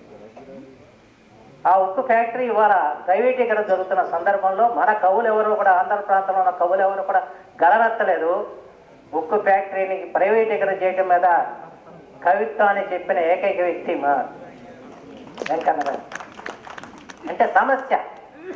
అదే తెలుగు జాతి సమస్యగా. తెలుగు జాతికి ఒక పోరాడి సాధించిన ఒక ఉక్కు పరిశ్రమకి ఇవాళ ప్రజల నుంచి దూరం అయిపోతుంది అన్న ఒక ఆవేదనతో ఆ ఉద్యమానికి ఆ కవిత్వం ద్వారా ఊపిరిలో వ్యక్తి గోరాటి వెంకన్న గారు అందుకు వారంటే నాకు ప్రత్యేకించి అభిమానం. ఆయన తెలంగాణ ప్రాంతీయుడైనా? ఆంధ్ర ప్రాంతంలో మన కవులు ఎవరో కూడా మా మన్య శ్రీనివాసరావు కూడా ఒక్కొక్క డాక్టర్ మీద రాయలా.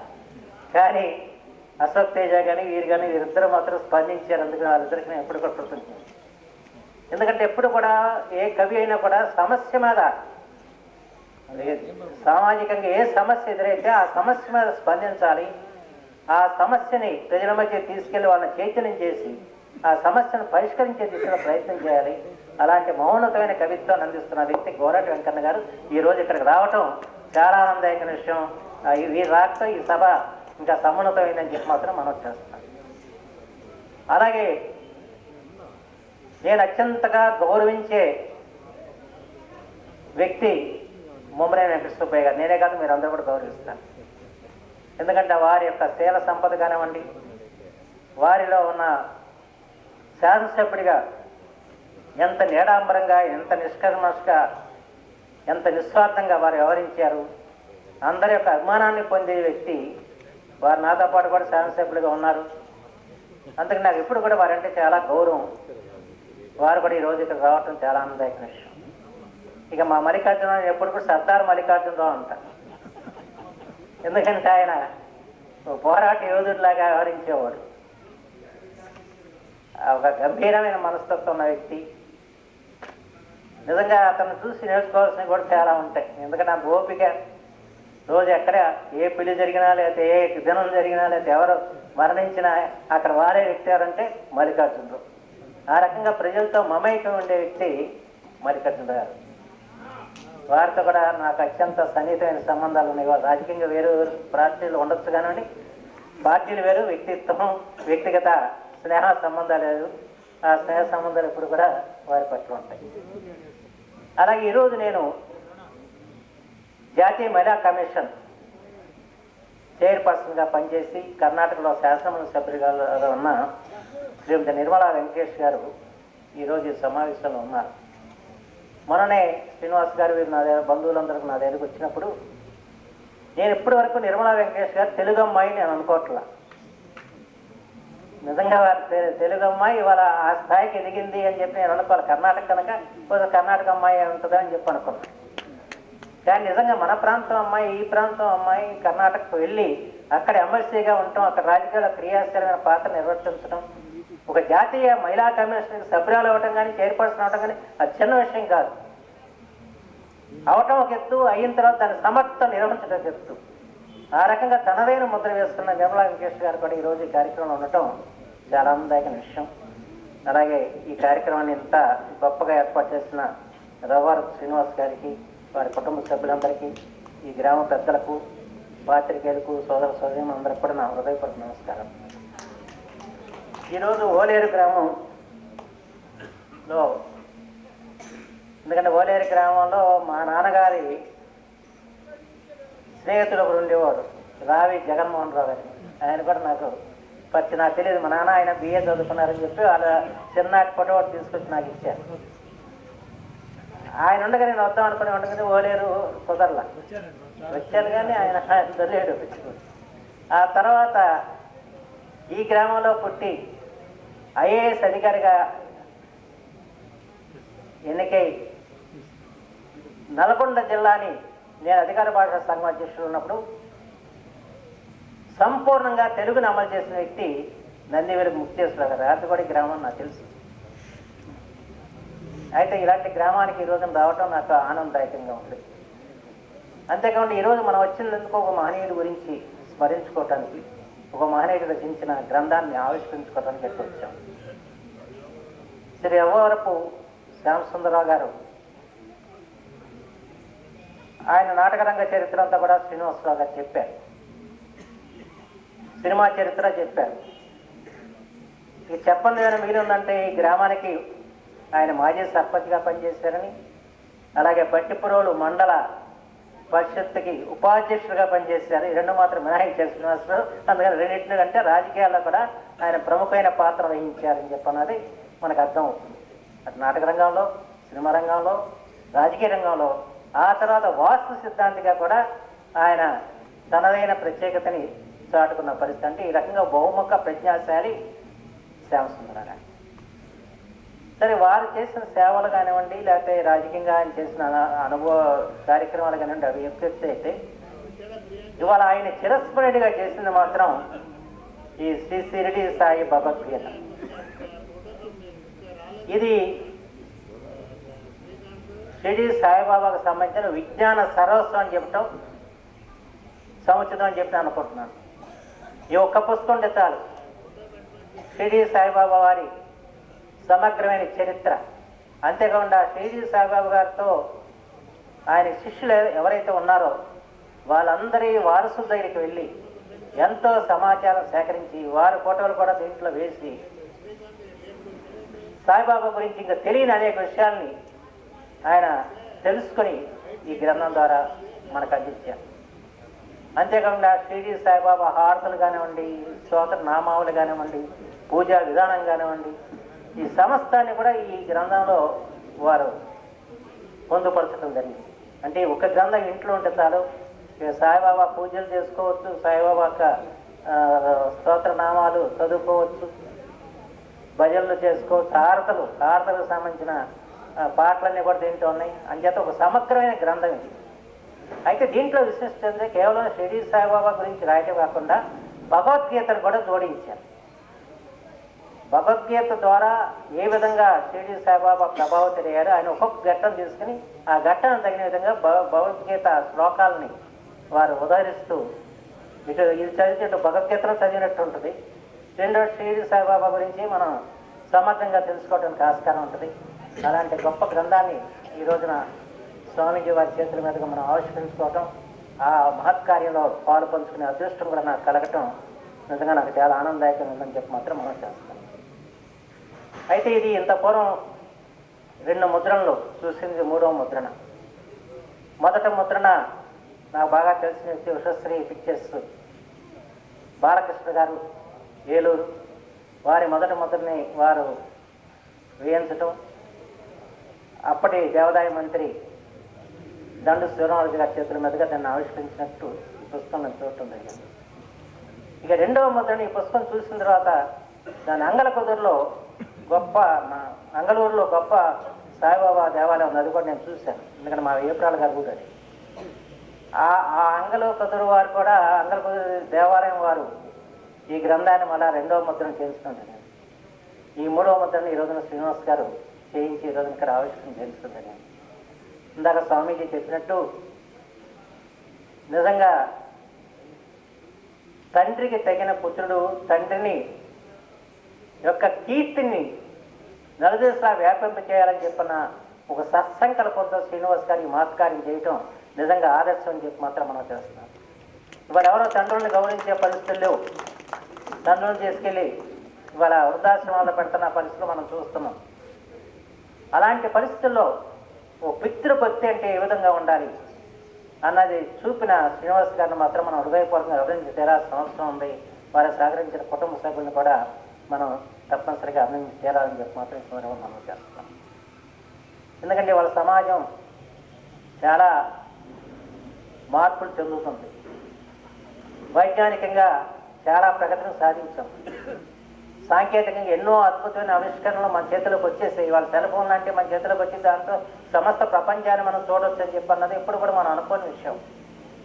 అలాంటి గొప్ప ఆవిష్కరణలు వచ్చినా కూడా ఇవాళ పరిస్థితి ఎలా ఉందంటే మనిషి ఆకాశంలో ఎగురుతున్నాడు సముద్రంలో ఈదుతున్నాడు కానీ మనిషిగా ఈ భూ ప్రపంచం నడయాడతలేదు అనేది నచ్చిన సత్యం అందుకే ఇలాంటి గ్రంథాలు చదివితే మనిషిలోని మానవత్వం మేల్కొలిపి మనిషి మనీష్గా రూపొందడానికి ఆస్కారం ఉంటుంది. ఆ రకం చక్కటి గ్రంథం ఈ పుస్తకం అని చెప్పి మాత్రం మనం చేస్తున్నాం. ఇలాంటి పుస్తకాలు చదివితే మన వ్యక్తిత్వం వికసించడానికి ఆస్కారం ఉంటుంది. అసలు ఎలా జీవించాలన్నదో మనం తెలుసుకోవడానికి ఆస్కారం ఉంటుంది. దీంట్లో చాలా విశేషం ఏంటంటే దాంట్లో వారి స్వీ చరిత్ర కూడా చివరిలో పేర్కొట్టడం జరిగింది. సాయిబాబా వారు ఏ విధంగా తన జీవితాన్ని మలిచారు? వీరి గురుగారి దగ్గర ఆయన మంత్రోపదేశం పొందటం కానివ్వండి ఆ తర్వాత అనేక ఘట్టాలు ఆయన దీంట్లో ఉదాహరించడం జరిగింది. సాయిబాబా గారు కళ్ళ కనపడటం ఆయనకు మార్గదర్శనం చేయటం ఎన్ని గొప్ప విశేషాలు. అందులో శ్యామసుందరరావు గారి యొక్క నాకు బాగా నచ్చింది విషయం ఏంటంటే ఎవరైనా భగవంతుడు కనపడితే నాకు అష్టైశ్వర ఇవ్వమని చెప్పు లేకపోతే నా పదవులు ఇవ్వమని చెప్పు. లేదా ఈ రకంగా కోరుకుంటూ సాయం కానీ ఆయన ఏం కోరాడు? నాకు మద్యపానం అనే ఒక దుర్లవాటు ఉంది. దాన్ని పారదోళ్ళు స్వామి అని చెప్పి కోరాడు. అది గొప్ప విషయం. ఆయన కోరింది ఏంటి? మొట్టమొదటి సాయిబాబా గారికి కళ్ళ సాక్షాత్కరించినప్పుడు ఆయన కోరింది ఏంటంటే నాకు సినిమా ఇట్లా మద్యపానం అలవాటైంది. ఆ దాని నుంచి నేను విముక్తను కాలేకపోతే నన్ను విముక్తం చేయను అని చెప్పి బాబా గారు సైతం నేను మద్యపానం నుంచి విముక్తున్నాను ఒక దురలవాటిని నా జీవితంలో పోగొట్టుకున్నానని చెప్పని రాసిన గొప్ప వ్యక్తి శ్యామసుందర ఇది ఎవరు చెప్పుకోరు ఆ విషయాలు? అంతేకాకుండా అనేక విషయాలు ఉన్నాయి. ఆయనకి ఎక్కడో పడతాం? దాంతో ఆయనకి ఆపరేషన్ చేసినప్పుడు ఆపరేషన్ సక్రమంగా చేయకపోవటం మళ్ళీ ఆపరేషన్ చేయడానికి డాక్టర్లు సాధ్యం కాదని చెప్పి ఈయనకి శాస్త్రంగా నడవలేడని చెప్పి అన్నప్పుడు సాయిబాబా వారు ఆయన ఏ విధంగా కరుణించి ఆయన ఏ విధంగా మనం నడిచే స్థితికి తీసుకొచ్చారన్నది ఆ ఉదంతం చదివితే చాలా ఆశ్చర్యం అనిపిస్తుంది. ఆ రకంగా సాయిబాబా గారి యొక్క ఆయనకి ఆయన సాక్షాత్కరించడం కానివ్వండి ఆయన అనేక ఆపదల నుంచి ఆయన్ని గట్టెక్కించే విషయం చేయటం కానివ్వండి ఇవన్నీ చదువుతా ఉంటే నిజంగా ఆ మహత్వం మనందరికి కూడా చాలా ఆశ్చర్యచిత్తం చేస్తుంది ఏదో సాయిబాబా గారు ఆయనకి ఏ విధంగా ఆయన్ని ఆశీర్వదించాడు ఆయన దీవించాడు ఆయన ఏ విధంగా నడిపించాడు అన్న విషయాలు ఆ కళ ద్వారా చేస్తే కొంతమంది నమ్మకపోవచ్చు కానివ్వండి కానీ నమ్మక తప్పని పరిస్థితి. అంటే అంత విశ్వాసంతో ఆయన ముందుకు సాగారు కేవలం సాయిబాబా వారి యొక్క ఆశీస్సుతో జీవనాన్ని సాగించిన గొప్ప మహోన్నత వ్యక్తి. అందుచేత అలాంటి సాయిబాబా గారు అనుగ్రహం పొందిన వ్యక్తి చేత ఆయన కలం నుంచి వెలువడిన ఈ పుస్తకం మాత్రం మార్గమైంది మనందరికి కూడా ఆదర్శమైంది అని చెప్పి మాత్రం ఈ సందర్భం మనం చేస్తాం. మనందరికి కూడా మార్గదర్శనమైన గ్రంథాన్ని ఈరోజు మనం ఇక్కడ ఆవిష్కరించుకోవడం చాలా సంతోషంగా మరి ఎప్పుడైనా షిరిడి సాయిబాబా గుడికి రెండు అక్షర రెండు కనపడతా ఉంటాయి ఒక పక్కన శ్రద్ధ అని మరో పక్కన సబూరి సబూరి అది మహారాష్ట్ర వాస్తవులు సబూరి అంటే ఏంటి? ఓపిక సహనం. అంటే మనిషి అన్నవాడికి ఏదైనా పని మీద శ్రద్ధ పెట్టాలి నాటక రంగంలో ఉన్నాడు. ఆయన శ్రద్ధ పట్టి బట్టి ఆయన అంతర్జాతీయ స్థాయికి ఎదిగాడు ఈయన కూడా సామాన్య కుటుంబం నుంచి వచ్చిన వ్యక్తి పల్లెలోంచి వచ్చిన వ్యక్తి. కానీ సాధన చేయబట్టి సాహిత్యంలో వాళ్ళ అగ్ర స్థాయికి వెళ్ళారు అలాగే వాళ్ళ రాజకీయంలో ఉన్న మేమందరం కూడా ఏ కృషి చేయకుండా ఈ స్థితికి వచ్చిన పరిస్థితులు ఉండవు. కృషి ఉంటే మనుషులు ఋషులు అవుతారు మహాపురుషులు అవుతారు తరతరాలు పెరుగ తరగని వెలుగు అవుతారన్న విషయం మనం తెలిసిన విషయం అంచేత ఏ ఏ రంగంలో ఉన్నా కూడా ఆ రంగం మీద రంగంలో శ్రద్ధతో కృషి చేస్తే మనం ఉన్నత స్థితికి ఎదుగుతామని చెప్పి సాయిబాబా చెప్పారు.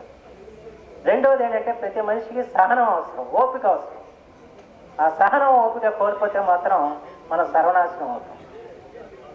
అంచేత ఎప్పుడు సాయిబాబా గుడికి వెళ్తారు ఆ రెండే ఉంటాయి. ఆయన ఇచ్చిన సందేశం అది. మిగతాది ఎంతగా వేరే విషయం ఒకటే ఒక పక్కన శ్రద్ధ ఒక పక్కన సహనం. ఈ రెండింటిని మీరు అలవర్చుకోండి. మీ జీవితంలో మౌనతంగా ఎదుగుతారని చెప్పని చెప్తున్నది శ్రీజీ సాయిబాబా తత్వం. ఆ తత్వాన్ని మనం అలవర్చుకొని మన జీవితంలో ముందుకు సాగాలని చెప్పి మాత్రం ఈ సందర్భంగా కోరుతున్నాను.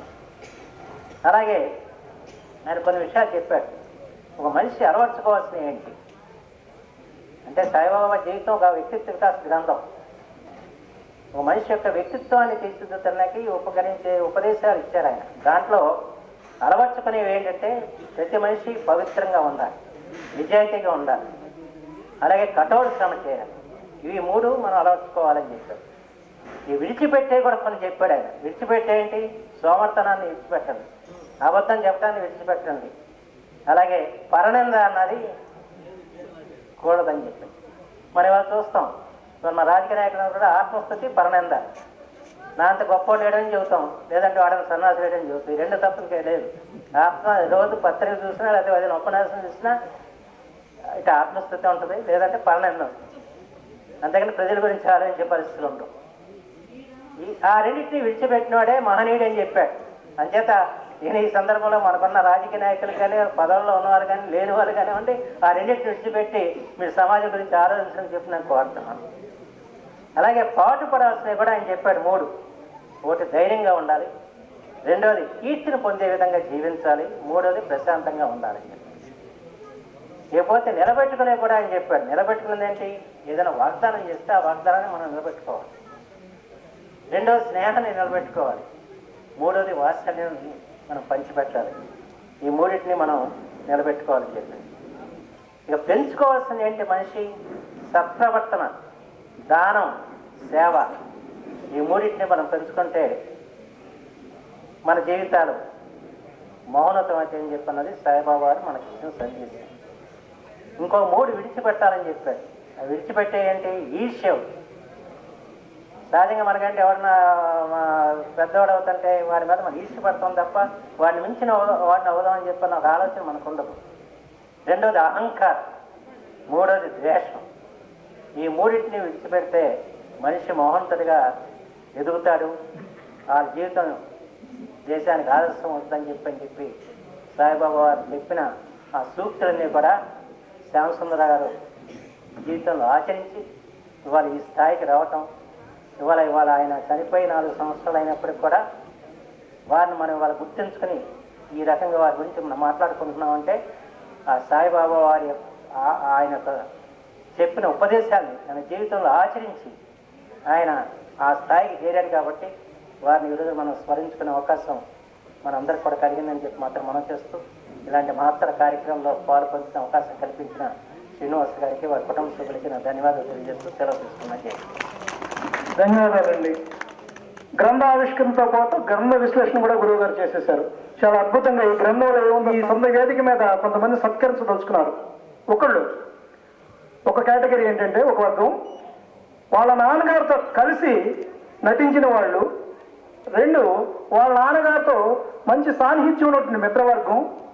మూడు ఈ గ్రంథం వెలుగు చూడటానికి దోహదపడినటువంటి వదాన్యమూర్తులు. ఈ ముగ్గురు మూడు వర్గాలను సత్కరించుకున్న తర్వాత మన మహిళా జాతీయ మహిళా కమిషన్ చైర్పర్సన్ అయినటువంటి నిర్మలా వెంకటేష్ గారు తమ సందేశాన్ని అందజేస్తూ ఓట్ ఆఫ్ థ్యాంక్స్ కూడా తెలియజేస్తారు.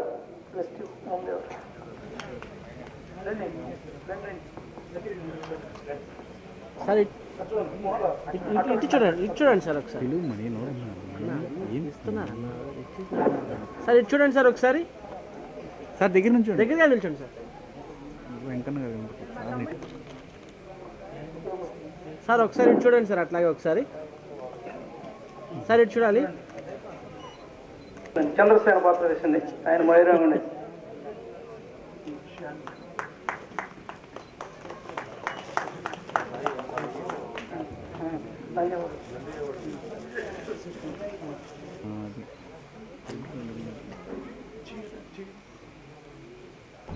సార్ ఒకసారి ఇటు చూడండి sir okay okay Mani Mani okay కొట్టు రన్నింగ్ కొట్టు చెయ్యి, చెయ్యి బాబు, నువ్వు వెయ్యి. నువ్వు వెయ్యి. నువ్వు కూడా వెయ్యి. రన్నింగ్ కొట్టు ఒకసారి ఇటు చూడండి సార్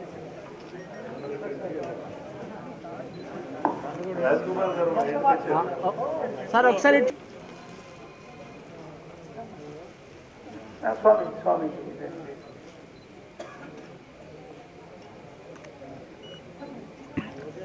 ఆ, అవును.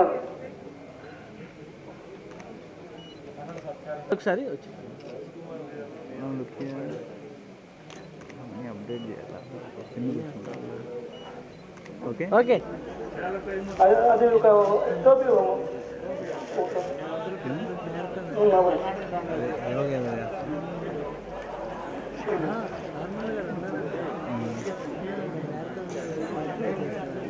సార్ ఇటు చూడండి సార్ ఒకసారి.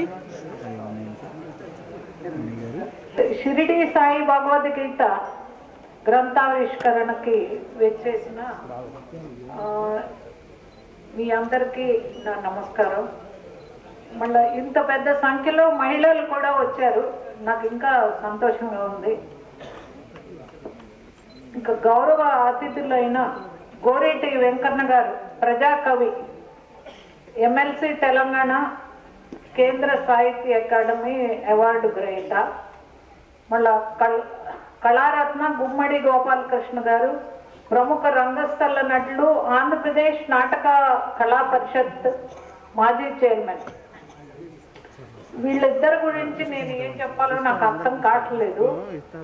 తెలుగులో ఇంత పెద్ద అసలు it's so wonderful to hear అసలు చాలా అసలు ఐ ఐ రియల్లీ ఎంజాయ్ వాళ్ళతో సమానంగా నన్ను కూర్చోబెట్టారని నాకు I'm very proud of it అసలు నాకు అర్థం కావట్లా. తెలుగులో ఇంత ఇది ఇది ఉందా అని. నే- నేను కన్నడం మాకు బాగా వచ్చు. నా పిల్లలిద్దరు కూడా కన్నడంలోనే మాట్లాడుకుంటారు. అయితే నేనే తెలుగులో మాట్లాడాలి తెలుగులో మాట్లాడాలని తెలుగు మాట్లాడిస్తాను. నేను చిన్నప్పటి నుంచి నేను పుట్టిందంతే ఇక్కడ రేపల్లలో. కానీ నేను కర్ణాటకలోనే చదువుకుని అక్కడే నేను మ్యారేజ్ చేసుకుని అక్కడే నేను సెటిల్ అయిపోయాను. మళ్ళా మా మమ్మనేని వెంకట సుబ్బయ్య గారు బాబాయ్ గారు మళ్ళా మా నా తమ్ముడు. నేను ఎప్పుడు నీ నీ కష్టాల్లో నేను ఉంటాను అని నా తమ్ముడు మల్లికార్జును. వీళ్ళందరికీ మళ్ళా మన్నే శ్రీనివాస్ గారు. మొన్న శ్రీ ఎవరు అధ్యక్షత అంటే శ్రీనివాస్ గారు అన్నారు సరే కొంచెం పిలవండి నేను చూస్తానన్నాను నేను మూడు రోజుల నుంచి ఇక్కడే ఉండా. ఓలేరు గ్రామంలోనే ఉన్నాను. కొంచెం మా శ్రీనుకి అసిస్ట్ చేద్దాం అనే విధంగా ఉండా. అయితే శ్రీనివాస్ గారిని పిలిపించారు. నేను అటు నుంచి వచ్చి ఎక్కడ శ్రీనివాస్ గారు? అని ఎదుగుతున్నా. నేను శ్రీనివాస్ గారు అంటే ఆయన పెద్ద ఇంత హైట్గా ఉండి మంచు కట్టుకుని జుబ్బా వేసుకుని ఇంత వస్తారేమోనని నేను చూస్తే ఈయన వచ్చేసారు. నాకు చాలా ఆశ్చర్యమే నాకు చాలా ఆశ్చర్యమైంది. ఇంకా నాకు ఎన్నో విషయాలు ఆయన చెప్పారు. నేను నేర్చుకున్నాను. మళ్ళా నేను అడిగాను ఆయన్ని. అంత బాగా తెలుగు నేను నేను మాట్లాడలేను పర్వాలేదు. అంటే పర్వాలేదు మేడం మీరు ఇంగ్లీష్కి జంప్ చేసేయండి అని అన్నారు. Okay I'm happy with that మళ్ళా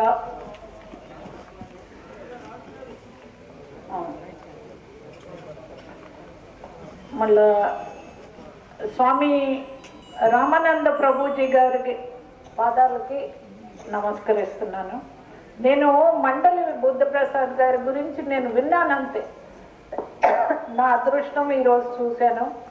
I thank you very much sir okay then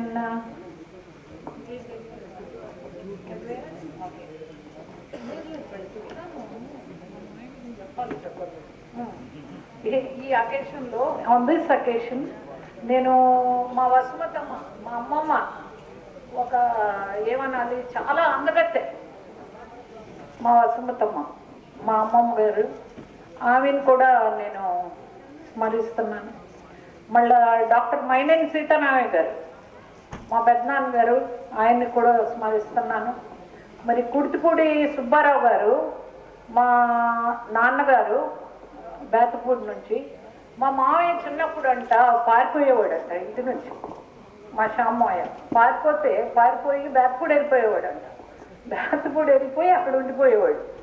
ఉండిపోయే తల్లికి ఎక్కడ పిల్లాడు అక్కడ పిల్లాడు అక్కడ అని అన్ని చోట్ల ఎదిగితే బేతపూడి గ్రామంలో మా నాన్నగారి దగ్గరికి వెళ్ళిపోయేవాడు. మా నాన్నగారు తనని ఒక బావమరిలాగా చూడలేదు కొడుకులాగా చూసుకున్నారు. ఆ తర్వాత మళ్ళా మా అత్తయ్య అయిన జయలక్ష్మి ఆయనతో ఎన్నో కష్టాలు పడింది. ఫస్ట్ లెట్ మీ అసలు అవి కూడా స్మరించాలి. చాలా కష్టాలు పడింది. తర్వాత సొప్పెట్టాడు ఏ ఉండు. అది కాదు ప్రతి పురుషుడు నేను చేసినట్టు నేను వందల వేలు కేసులు ఈ భారతదేశంలో చేశాను. ప్రతి పురుషుడే కష్టపెడతాడని నేను అనను. మహిళలు కూడా చాలా నేర్చుకునేది ఉన్నది ఇప్పుడు. ఇప్పుడు ఇదిగో ఇగో ఊరుకో. నాకు ఫ్లూ అయితే మా అత్తయ్య జయలక్ష్మి గారికి ఐ థ్యాంక్స్ మళ్ళా ఆయనతో చాలా అటాచ్మెంట్ ఉంది మా శ్యామయ్య గారితో నాకు.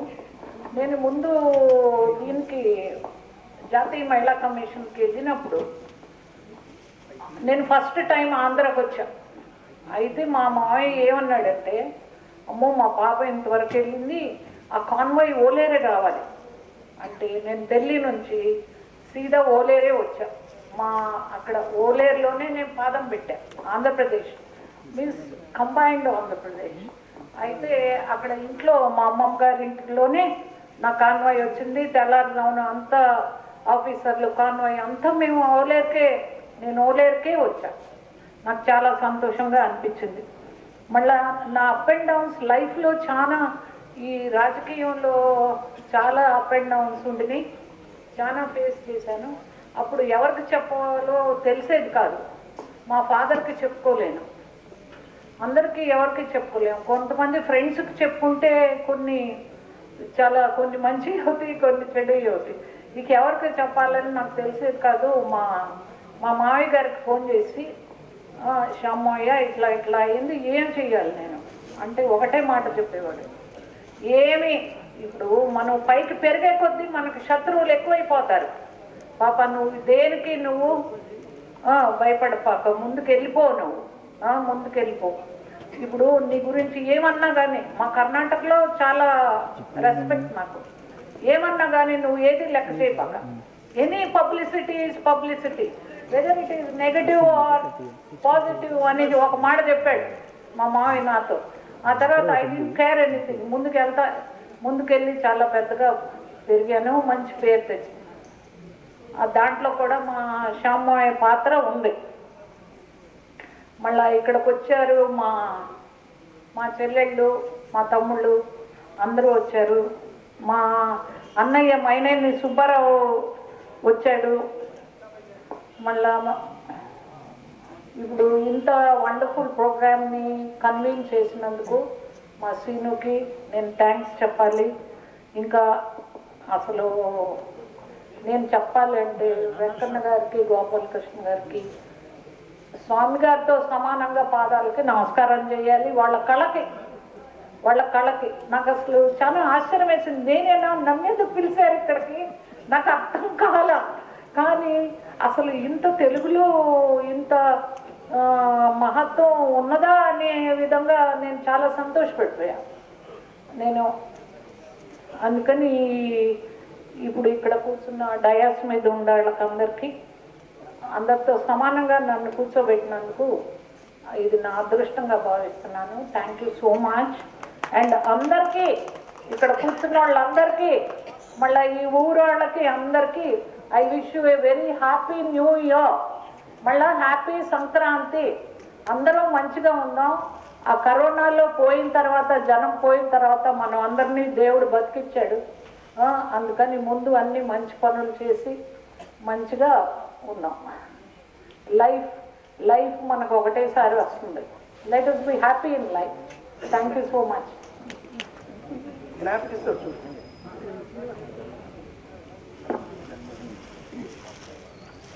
మొత్తం ఇది నాకు ఇప్పుడు.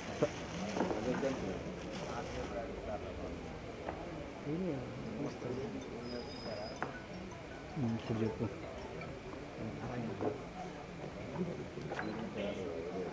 చెప్పు సార్ ఒకసారి ఇటు చూడండి సార్ అట్లాగే.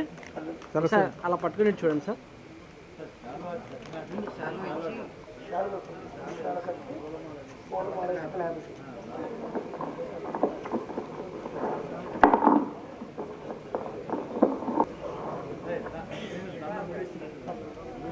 సార్ ఒకసారి ఇటు చూడండి అట్లాగే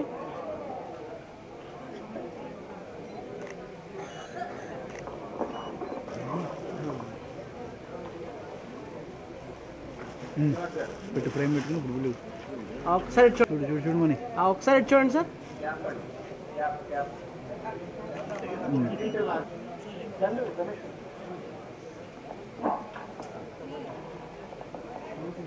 ఆ,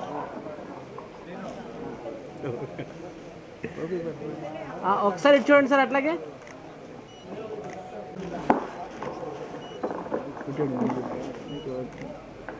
నెక్స్ట్ ఉమ్మనేని వెంకట సుబ్బయ్య గారు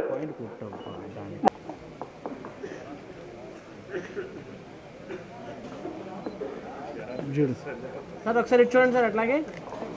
సార్ ఒకసారి ఇటు చూడండి సార్ అట్లాగే. Okay sir See? Okay